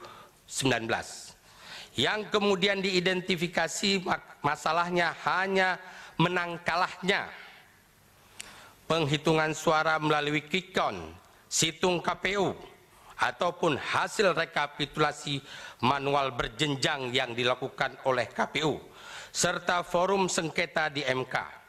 Pemahaman yang demikian tentu saja sangat keliru. Kecurangan pemilu dapat terjadi pada semua tahapan proses pemilu, yaitu sebelum, pada saat, dan setelah pencoblosan. Itu adalah rangkaian proses yang saling berkait dan saling mempengaruhi. Karena itu perlu melakukan karena itu adalah rangkaian proses yang saling terkait dan saling mempengaruhi. Karena itu, kalau melakukan kecurangan dalam proses sebelum pencoblosan, maka pasangan capres dan cawapres yang menang adalah cara-cara curang demikian apalagi secara TSM harus dibatalkan kemenangannya oleh proses persidangan yang mulia di Mahkamah Konstitusi ini. Sudah jamak diketahui bahwa potensi penyalahgunaan kekuasaan akan lebih besar terjadi jika pada saat yang sama presiden yang menjabat juga menjadi calon presiden Modus petahana melakukan abuse of power adalah dengan menggunakan kewenangan yang ada di dalam kekuasaan termasuk fasilitas negara, aparatur negara, anggaran negara, lembaga negara, hingga badan usaha milik negara mengguna mendukung program kemenangannya sebagai capres. Penyalahgunaan demikian tidak jarang, bukan hanya bersifat melanggar hukum, tetapi lebih jauh adalah melanggar etika bernegara. Harus diingat, pelanggaran etika bernegara, apalagi oleh presiden sebagai kepala negara dan kepala pemerintahan, adalah hal yang sangat prinsip. Terlebih, etika adalah fondasi dasar bagi tegaknya hukum. Capres petahana dan kesadaran kesetaraan kontestan pemilu. Pelanggaran hukum dan etika bernegara dalam konteks pelaksanaan pemilu yang dilakukan oleh presiden yang sedang menjabat adalah salah satu bentuk kecurangan yang akhirnya menciptakan ruang kontestasi pemilu yang tidak jujur dan tidak adil di antara peserta pemilihan presiden. Potensi abuse of power yang dilakukan oleh petahana melanggar prinsip-prinsip pemilu yang jujur dan adil tersebut sebenarnya sudah ditangkap dan dirumuskan dalam bentuk pasal 70 ayat 3 Undang-Undang nomor 10 tahun 2016 tentang pemilihan kepala daerah yang mengatur gubernur, wakil gubernur, bupati, wakil bupati, wali kota dan wakil wali kota yang mencalonkan kembali pada daerah yang sama selama masa kampanye harus memenuhi ketentuan A. Menjalani cuti di luar tanggung jawab negara B. Dilarang menggunakan fasilitas yang terkait dengan jabatannya dalam merumusan norma tersebut, para pembuat undang-undang yaitu Presiden Jokowi, DPR, dan DPD sepakat untuk mengantisipasi masifnya penyalahgunaan kekuasaan oleh petahana kepala daerah yang kembali mencalonkan diri. Presiden Joko Widodo dan parlemen kemudian menggariskan politik hukum yang mensyaratkan cuti selama kampanye dan larangan penggunaan fasilitas yang terkait dengan jabatannya. Logikanya, potensi penyalahgunaan kekuasaan demikian tentunya sangat mungkin dilakukan pula oleh Presiden petahana.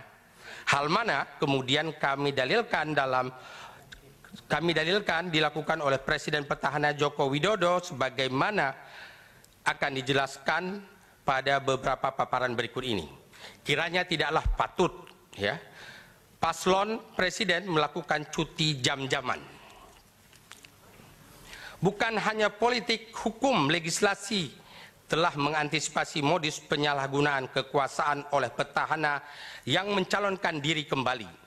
Lebih jauh Mahkamah Konstitusi sendiri telah menguatkan norma kewajiban cuti di masa kampanye dan larangan menggunakan fasilitas tersebut melalui putusan MK nomor 60 garing tahun 2016. Kami tidak bacakan lagi karena majelis hakim sudah lebih mengetahui. 97, gaya otoriter dan orde baru. Lebih jauh potensi kecurangan pemilu yang dilakukan oleh presiden petahana akan lebih kuat terjadi kalau karakteristik pemerintahan yang dibangunnya adalah pemerintahan yang cenderung otoriter yang untuk di Indonesia adalah salah satu contohnya di era Orde Baru.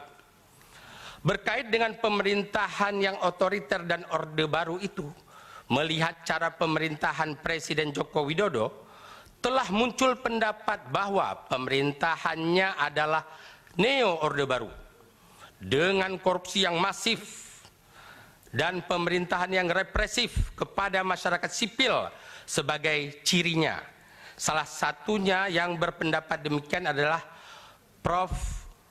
Tim Lindsay, guru besar hukum dan Indonesian Indonesianis dari Melbourne University Law School. Dalam artikelnya berjudul Jokowi Indonesia New Order Neo New Order, Profesor Tim berpendapat dengan pengaturan sistem politik yang masih buruk maka pemenang pemilu akan cenderung bertindak koruptif untuk mengembalikan biaya politiknya yang sangat mahal. Beberapa sifat otoriat, otoriti, otoritarian yang muncul dalam pemerintahan Jokowi dianggap adalah pola Orde Baru seperti tindakan represif kepada kelompok masyarakat yang kritis dan para aktivis anti korupsi. Lebih jauh, Profesor Tim berpendapat untuk menyenangkan kelompok pemodal oligarki maka Presiden Jokowi akan mengambil langkah keras kepada kelompok Islam. Pilihan kebijakan yang akan membatasi kebebasan berpendapat dan membuatnya berhadapan dengan kelompok masyarakat sipil.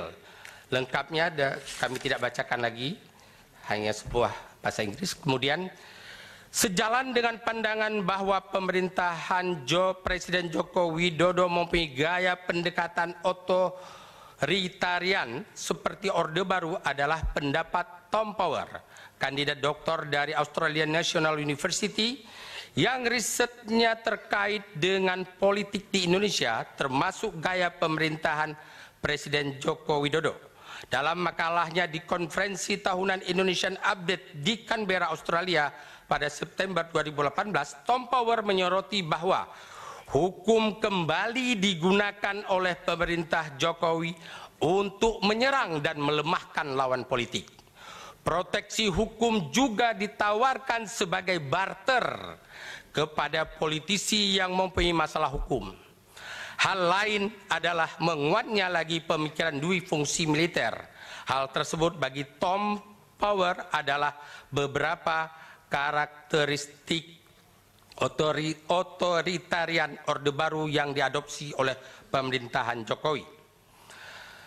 Mengenai karakteristik pemerintahan Jokowi yang mirip Orde Baru sekaligus menjelaskan bagaimana modus kecurangan pemilu di era otoritarian tersebut adalah juga dilakukan oleh paslon 01 yang juga Presiden Petahana Jokowi yaitu strategi pengerahan ABG yang di era Orde Baru adalah poros abri birokrasi dan Golkar. Modus itu di era pemerintahan Jokowi bereinkarnasi menjadi tiga poros pemenangan yaitu aparat, birokrasi, BUMN, dan partai koalisi. Majelis selanjutnya akan dilanjutkan oleh rekan kami. Silakan. Juru bicaranya tadi cuma tiga, Mas Bambang. Sudah kasih tahu tiga orang aja, ya. ya biar gantian dia tetap ya. Terima kasih majelis, saya akan lebih efisien. Pada bagian ini akan dibacakan tentang pelanggaran TSM atas pemilu yang bebas dan rahasia. Sebelum masuk pada kecurangan pemilu, electoral fraud yang sifatnya TSM dan berkait dengan azas-azas pemilu yang jujur dan adil, terlebih dahulu kami ingin mendalilkan adanya juga pelanggaran TSM atas azas pemilu yang bebas dan rahasia yang diduga dilakukan oleh Capres paslon nomor satu. Uh, Secara singkat ini, Pak Bambang. Ya Pak. Uh, jadi waktunya tinggal lebih kurang 13 menit ya. ya. Kalau lewat itu ya kita skor dulu untuk Ya, oke okay, Pak. Saya ya. akan terima kasih Majelis Hakim. Kalau saya... bisa di kebut dipadatkan ya mungkin saya akan coba mengebut. Ya, baik. Terima kasih, terima kasih atas Majelis, beberapa saat sebelum hari pencoblosan, Capres Paslon 01 secara gencar dan terus-menerus berkampanye agar para pendukungnya datang ke TPS menggunakan baju putih. Bahkan menuliskan pesan untuk ramai-ramai memakai baju putih pada saat datang ke TPS 17 April.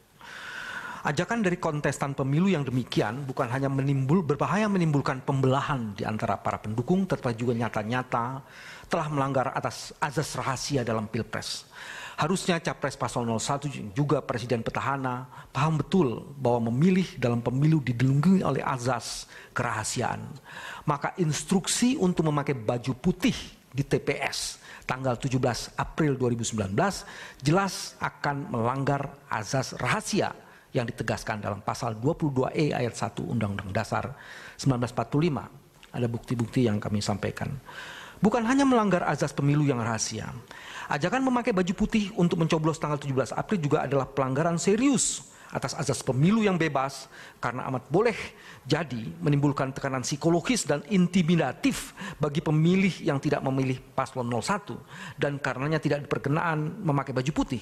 Meskipun baru merupakan ajakan tetapi karena dilakukan oleh capres paslon 01 yang juga presiden petahana, maka ajakan demikian tentu mempunyai pengaruh psikologis yang mengganggu kebebasan rakyat dalam melaksanakan Pilpres 2019 dan karenanya melanggar azas pemilu yang bebas.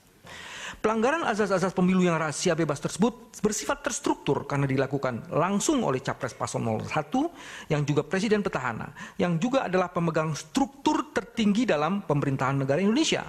Bersifat sistematis karena dengan matang direncanakan berbaju putih ke TPS dan dilaksanakan pada 17 April. Dan bersifat masif karena dilaksanakan di seluruh wilayah Indonesia yang dapat mempengaruhi psikologi pemilih yang amat mungkin menimbulkan intimidasi kepada pemilih dan akhirnya membawa pengaruh pada pilpres. Majelis ada lima argumen yang diajukan untuk argumen kualitatif ini dan saya akan mulai masuk dalam argumen pertama. Sebelumnya ada bagian pendahulunya. Tentang pelanggaran TSM atas azas pemilu yang jujur dan adil. Kecurangan TSM oleh capres petahana berangkat dari dasar pijakan bahwa presiden petahana berpotensi terjebak dalam praktek kecurangan pemilu. Maka berikut ini kami dalilkan bagaimana kecurangan yang TSM dilakukan oleh pasangan calon presiden dan wakil presiden Joko Widodo dan Kiai Haji Ma'ruf Amin. Kami mendalilkan bahwa dalam Pilpres 200, 2019 yang berkompetisi bukanlah sekedar paslon 01 dengan paslon 02. Tetapi adalah antara paslon 01 dengan Presiden Petahana Joko Widodo. Lengkap dengan seluruh fasilitas aparatur yang melekat pada lembaga kepresidenan. Sebagai capres yang juga petahana, bentuk kecurangannya diindikasikan sebagai berikut. A. Penyalahgunaan anggaran belanja negara dan program kerja pemerintah. B. Penyalahgunaan birokrasi dan BUMN. C. Ketidaknetralan aparatur negara, polisi dan intelijen. Pembatasan kebebasan media dan pers. Diskriminasi, perlakuan, dan penyalahgunaan penegakan hukum. Kelima jenis pelanggaran dan kecurangan ini semuanya bersifat TSM dalam arti dilakukan oleh aparat struktural, terencana, mencakup dan berdampak luas kepada banyak wilayah Indonesia. Saya akan langsung masuk kepada argumen pertama, kecurangan TSM ke-1. Penyalahgunaan anggaran belanja negara dan program pemerintahan. Kecurangan ini dilakukan oleh Paslon 01 dengan menggunakan posisinya sebagai presiden petahana. Capres yang juga petahana menggunakan instrumen anggaran belanja dan program pemerintah untuk mempengaruhi pemilih agar memenangkan pilpres. Sekilas penggunaan anggaran negara dan program pemerintah ini adalah yang biasa dilakukan. Apalagi kebijakan tersebut dikuatkan dengan dasar hukum sehingga terkesan absah.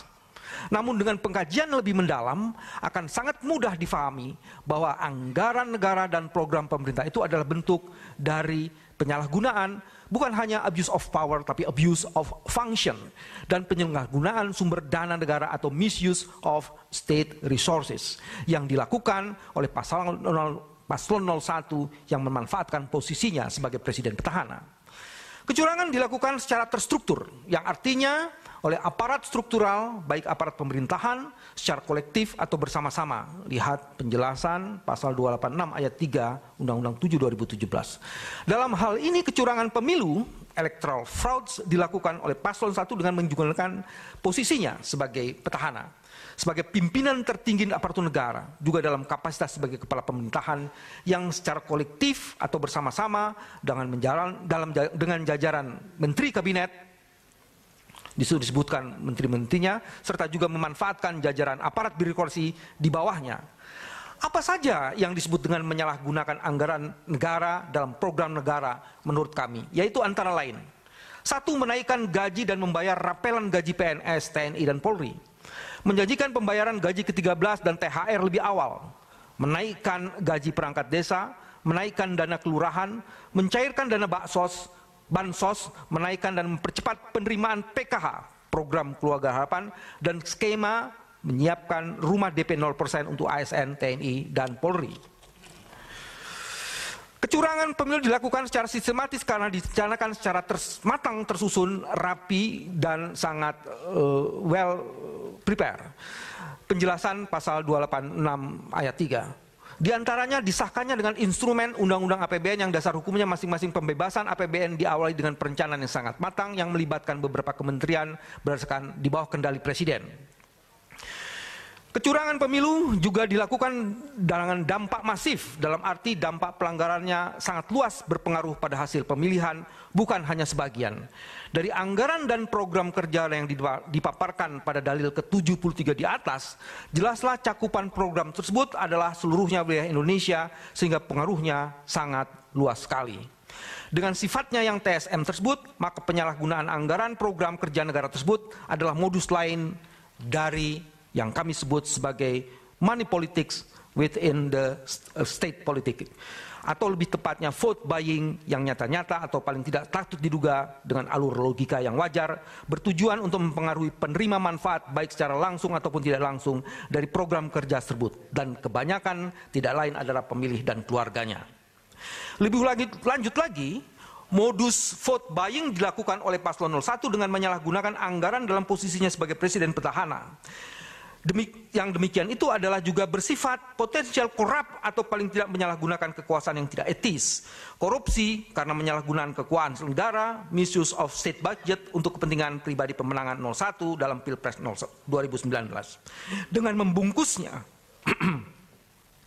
seolah-olah sebagai program negara, padahal dengan alur berpikir rasional yang wajar, tidak lain dan tidak bukan mempunyai maksud tersembunyi dan bahkan terbuka untuk mempengaruhi preferensi pilihan penerima manfaat langsung atau tidak langsung dari program-program tersebut.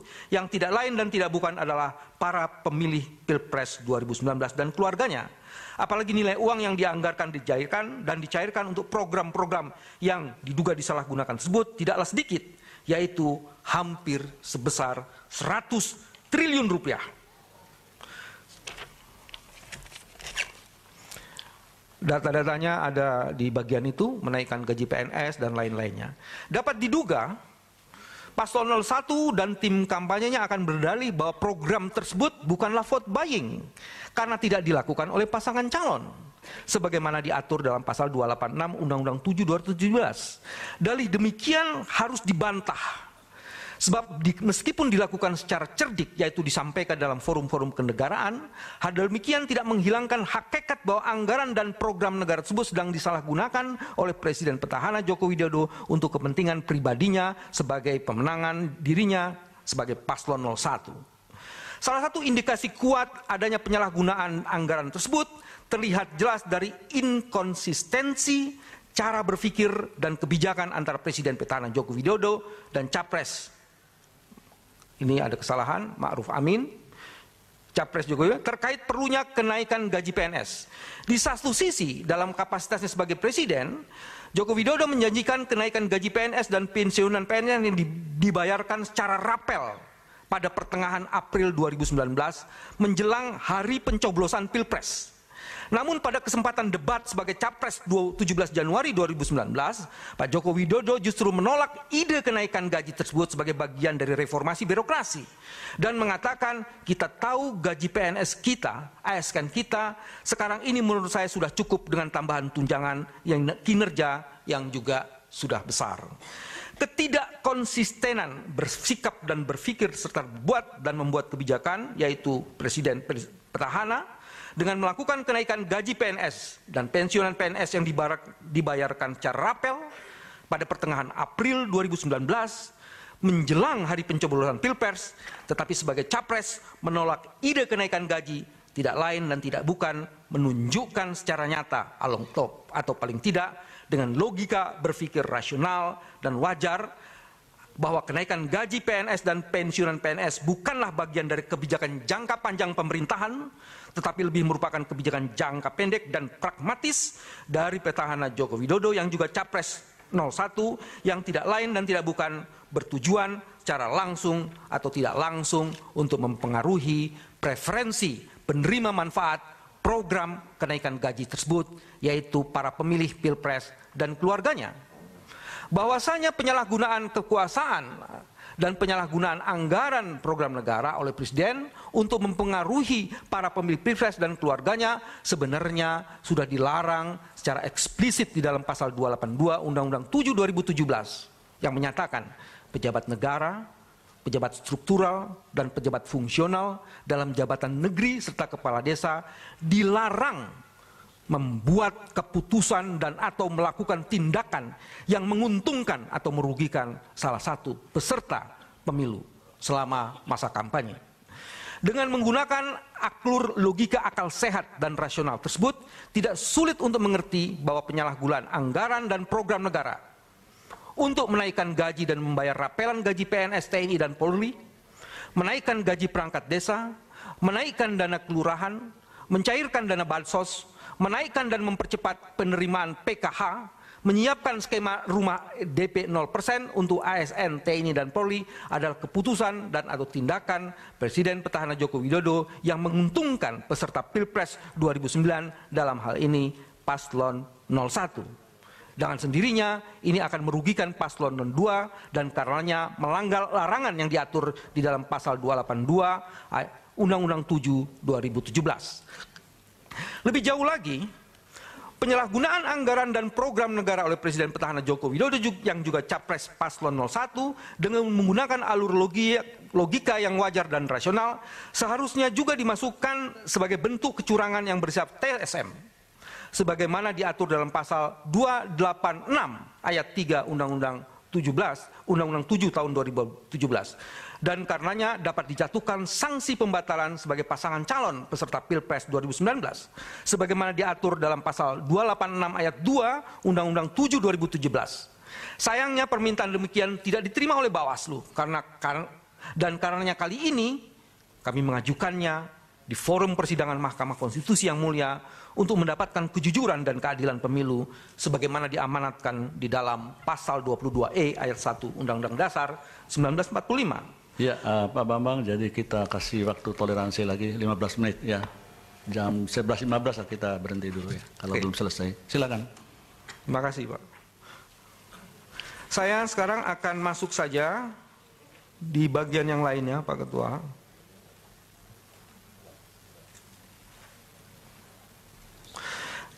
Poin 125. Bahkan dalam salah satu kesempatan di awal Maret 2019, Presiden petahana Jokowi yang juga capres paslon 01 menjanjikan bukan hanya pembayaran rapelan kenaikan gaji PNS, tapi juga yang dibayarkan pada awal April menjelang hari penjurbalan adalah pembayaran gaji ke-13 dan ke-14. Pembayaran gaji ke-13 dan ke-14 THR yang dijanjikan pada awal April menjelang pencoblosan yang sedemikian itu nyata-nyata atau paling tidak dalam batas penalaran rasional yang wajar diniatkan untuk mempengaruhi pilihan dan penerima manfaat. Diakui oleh Presiden Joko Widodo sebagai strategi pemenangan Pilpres 2019 bahwasanya penyalahgunaan anggaran dan program negara itu yang waktu dan momentumnya sengaja dipilih pada awal 2019 bahkan mendekati hari pencoblosan 17 April 2019 dapat dibaca sebagai cara dari Presiden petahana Joko Widodo yang sekaligus capres paslon 01 untuk memenangkan Pilpres 2019. Hal demikian secara langsung dan tidak langsung diakui oleh Presiden Joko Widodo pada akhir 2018, di mana beliau mengakui bahwa pilihan momentum kebijakannya dipengaruhi oleh perhehatan dan upaya memenangkan Pilpres meskipun berbicara dalam konteks pembangunan. Ini dikatakan demikian, saya sampaikan jangan Mei atau Juni, saya minta April Kenapa April? Tahu kan? Saya minta Bakahuni ke Palembang April selesai. Bukan untuk apa-apa. Ini pikirannya pasti beda supaya kita bisa pakai untuk lebaran. Itu kira-kira berbagai pernyataannya.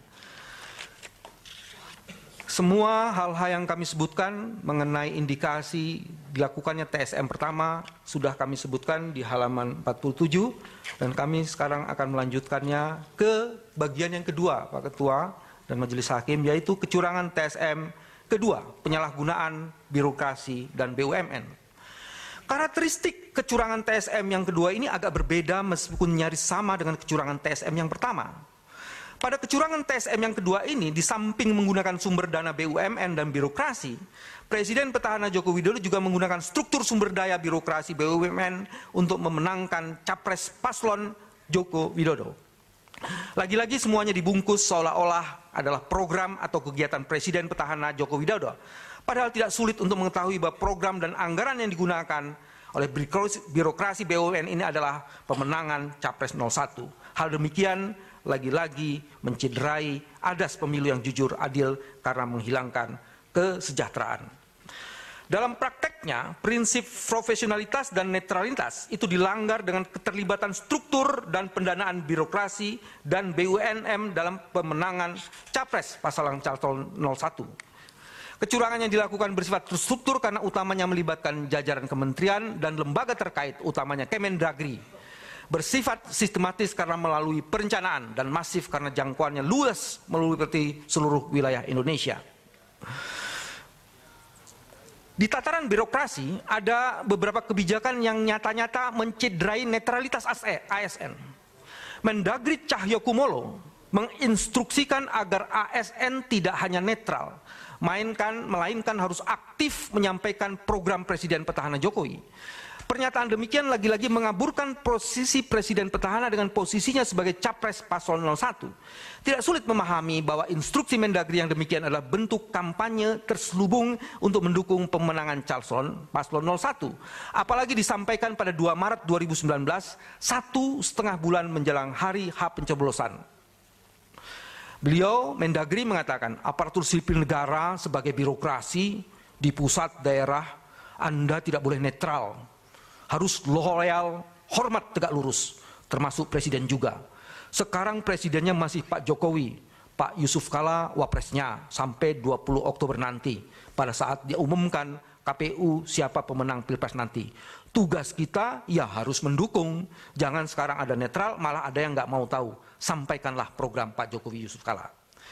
Selain dari itu juga ada beberapa yang lainnya eh, selain Pak Cahyo. Misalnya saja eh, menyalahgunakan birokrasi Menteri Mendagri dan Menteri Desa PDT dan Transmigrasi yang mengadakan penggalangan para kepala desa yang dikemas dalam acara silaturahmi nasional yang dihadiri oleh petahana Joko Widodo. Acara itu seolah-olah dikenal sebagai acara kenegaraan dengan Presiden Jokowi tapi senyatanya adalah kampanye terselubung dari Capres 01 Jokowi. Hal ini dengan dengan mudah dibaca dengan logika akal sehat yang rasional karena pertemuan masal mirip kampanye itu dilaksanakan pada 10 April menjelang hari pencoblosan. Di dalam acara Presiden Petahana Joko Widodo itu akhirnya muncul suara-suara yang terkait dengan dukungan memenangkan Capres 01. Kami sertakan juga kutipannya. Bukti bahwa acara silaturahmi nasional pemerintahan desa se-Indonesia pada dasarnya adalah kampanye terselubung dengan cara mendagri menjalankan kekuasaannya mengundang jajaran birokrasi. Dalam hal ini kepala desa dan perangkat desa se-Indonesia terlihat jelas dalam surat mendagri.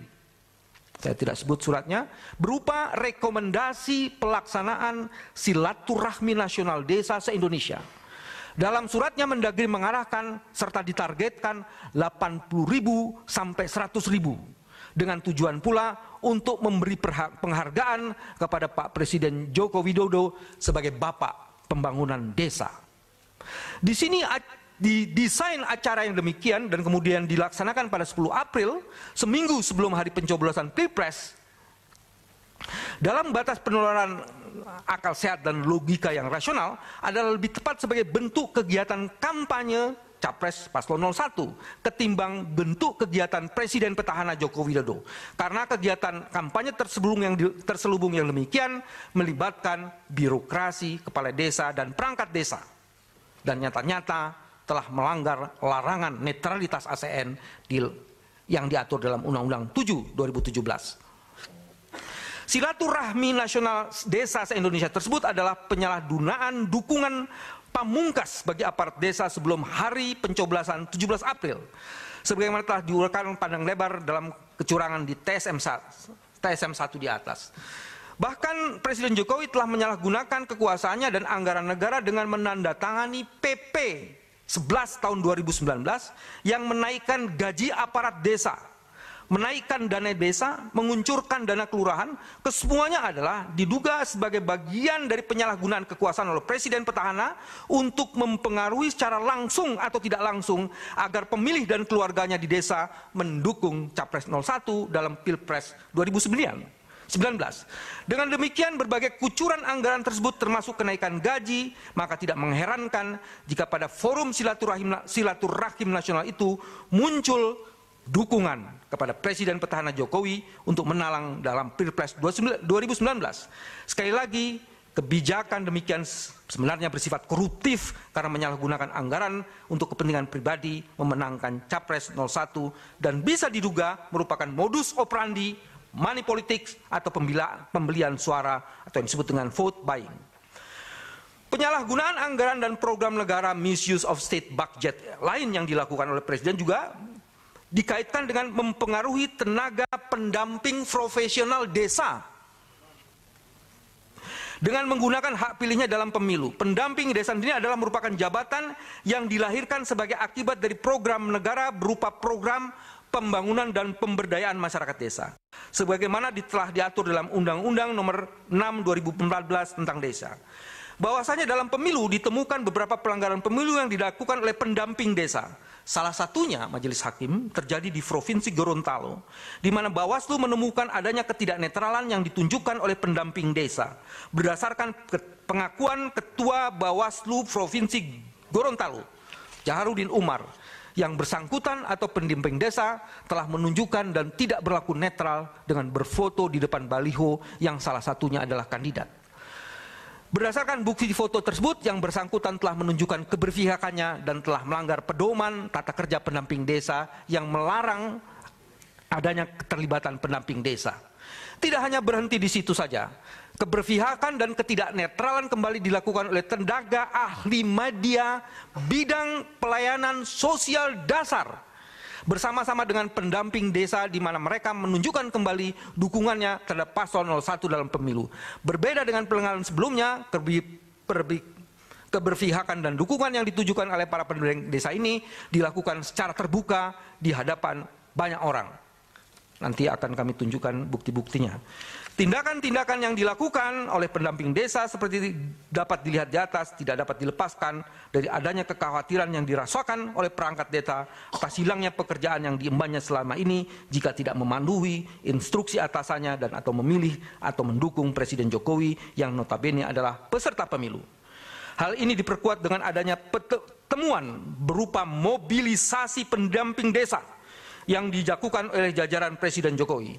Seperti yang dilakukan oleh Kementerian Desa, Pembangunan Daerah Tertinggal dan Transmigrasi Republik Indonesia. Jika kita membandingkan mobilisasi yang dilakukan untuk menyambut Presiden Jokowi dengan apa yang terjadi di alami oleh Kepala Desa Sampan Agung Kutorjo Mojokerto Soehartono di mana mendapat Soehartono di mana dia mendapatkan justru tuntutan enam bulan dan denda 12 ribu rupiah karena menjambut Sandiaga Salahuddin Uno saat mengunjungi Pacet Minggu 21 November 2018. Saya akan masuk di bagian lainnya. Iklan pembangunan infrastruktur di bioskop. Beberapa saat sebelum keluarnya arahan Presiden Jokowi melalui KSP Muldoko tersebut, Kemenfo, Kemenkominfo sudah menggunakan anggaran negara untuk mengiklankan klaim keberhasilan pembangunan infrastruktur yang dilakukan pada masa pemerintahan Jokowi. Tentunya iklan tersebut dianggap bukan sebagai kampanye, melainkan sosialisasi keberhasilan pemerintah yang wajar untuk dipublikasi kepada masyarakat. Namun, dengan pemikiran yang objektif dan jernih, kita tentu bisa memahami hal ini merupakan kampanye terselubung, terselubung yang dilakukan lagi-lagi oleh petahana dengan menggunakan struktur birokrasi dan anggaran kementerian guna strategi pemenangan calon capres nomor satu.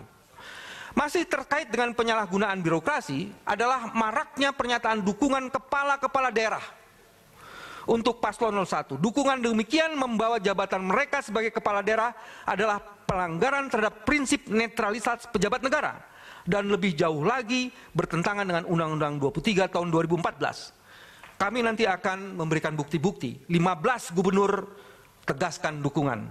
Puluhan kepala daerah di Jawa Tengah langgar netralitas pemilu.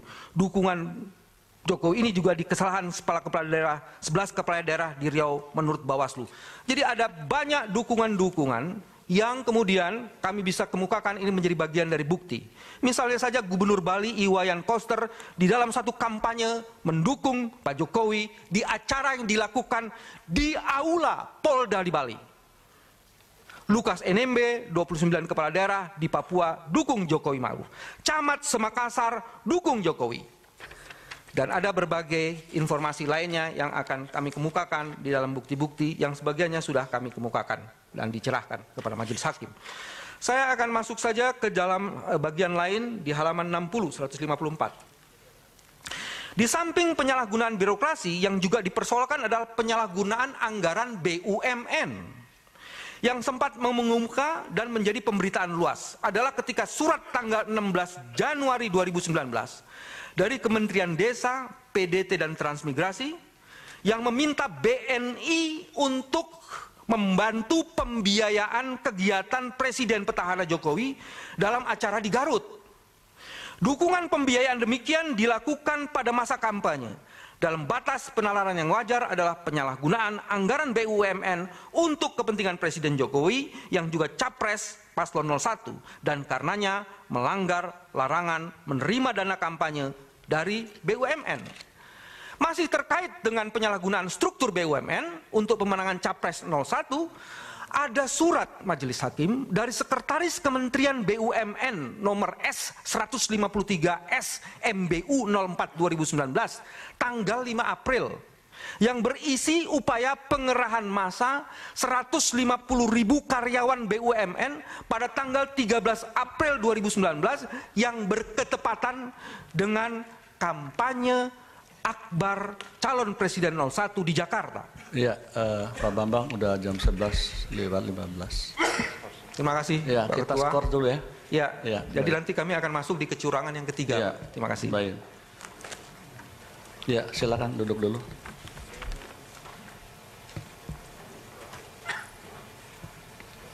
Ya. Ya, kita skor dulu sampai jam 13.30 setelah sholat Jumat. Ya. Sidang eh, diskors. Hadirin dimohon berdiri.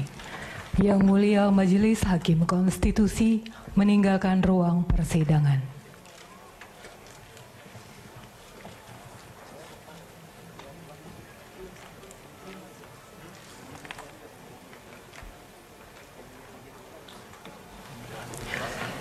Hadirin disilahkan duduk kembali. Hadirin yang kami hormati persidangan untuk perkara nomor satu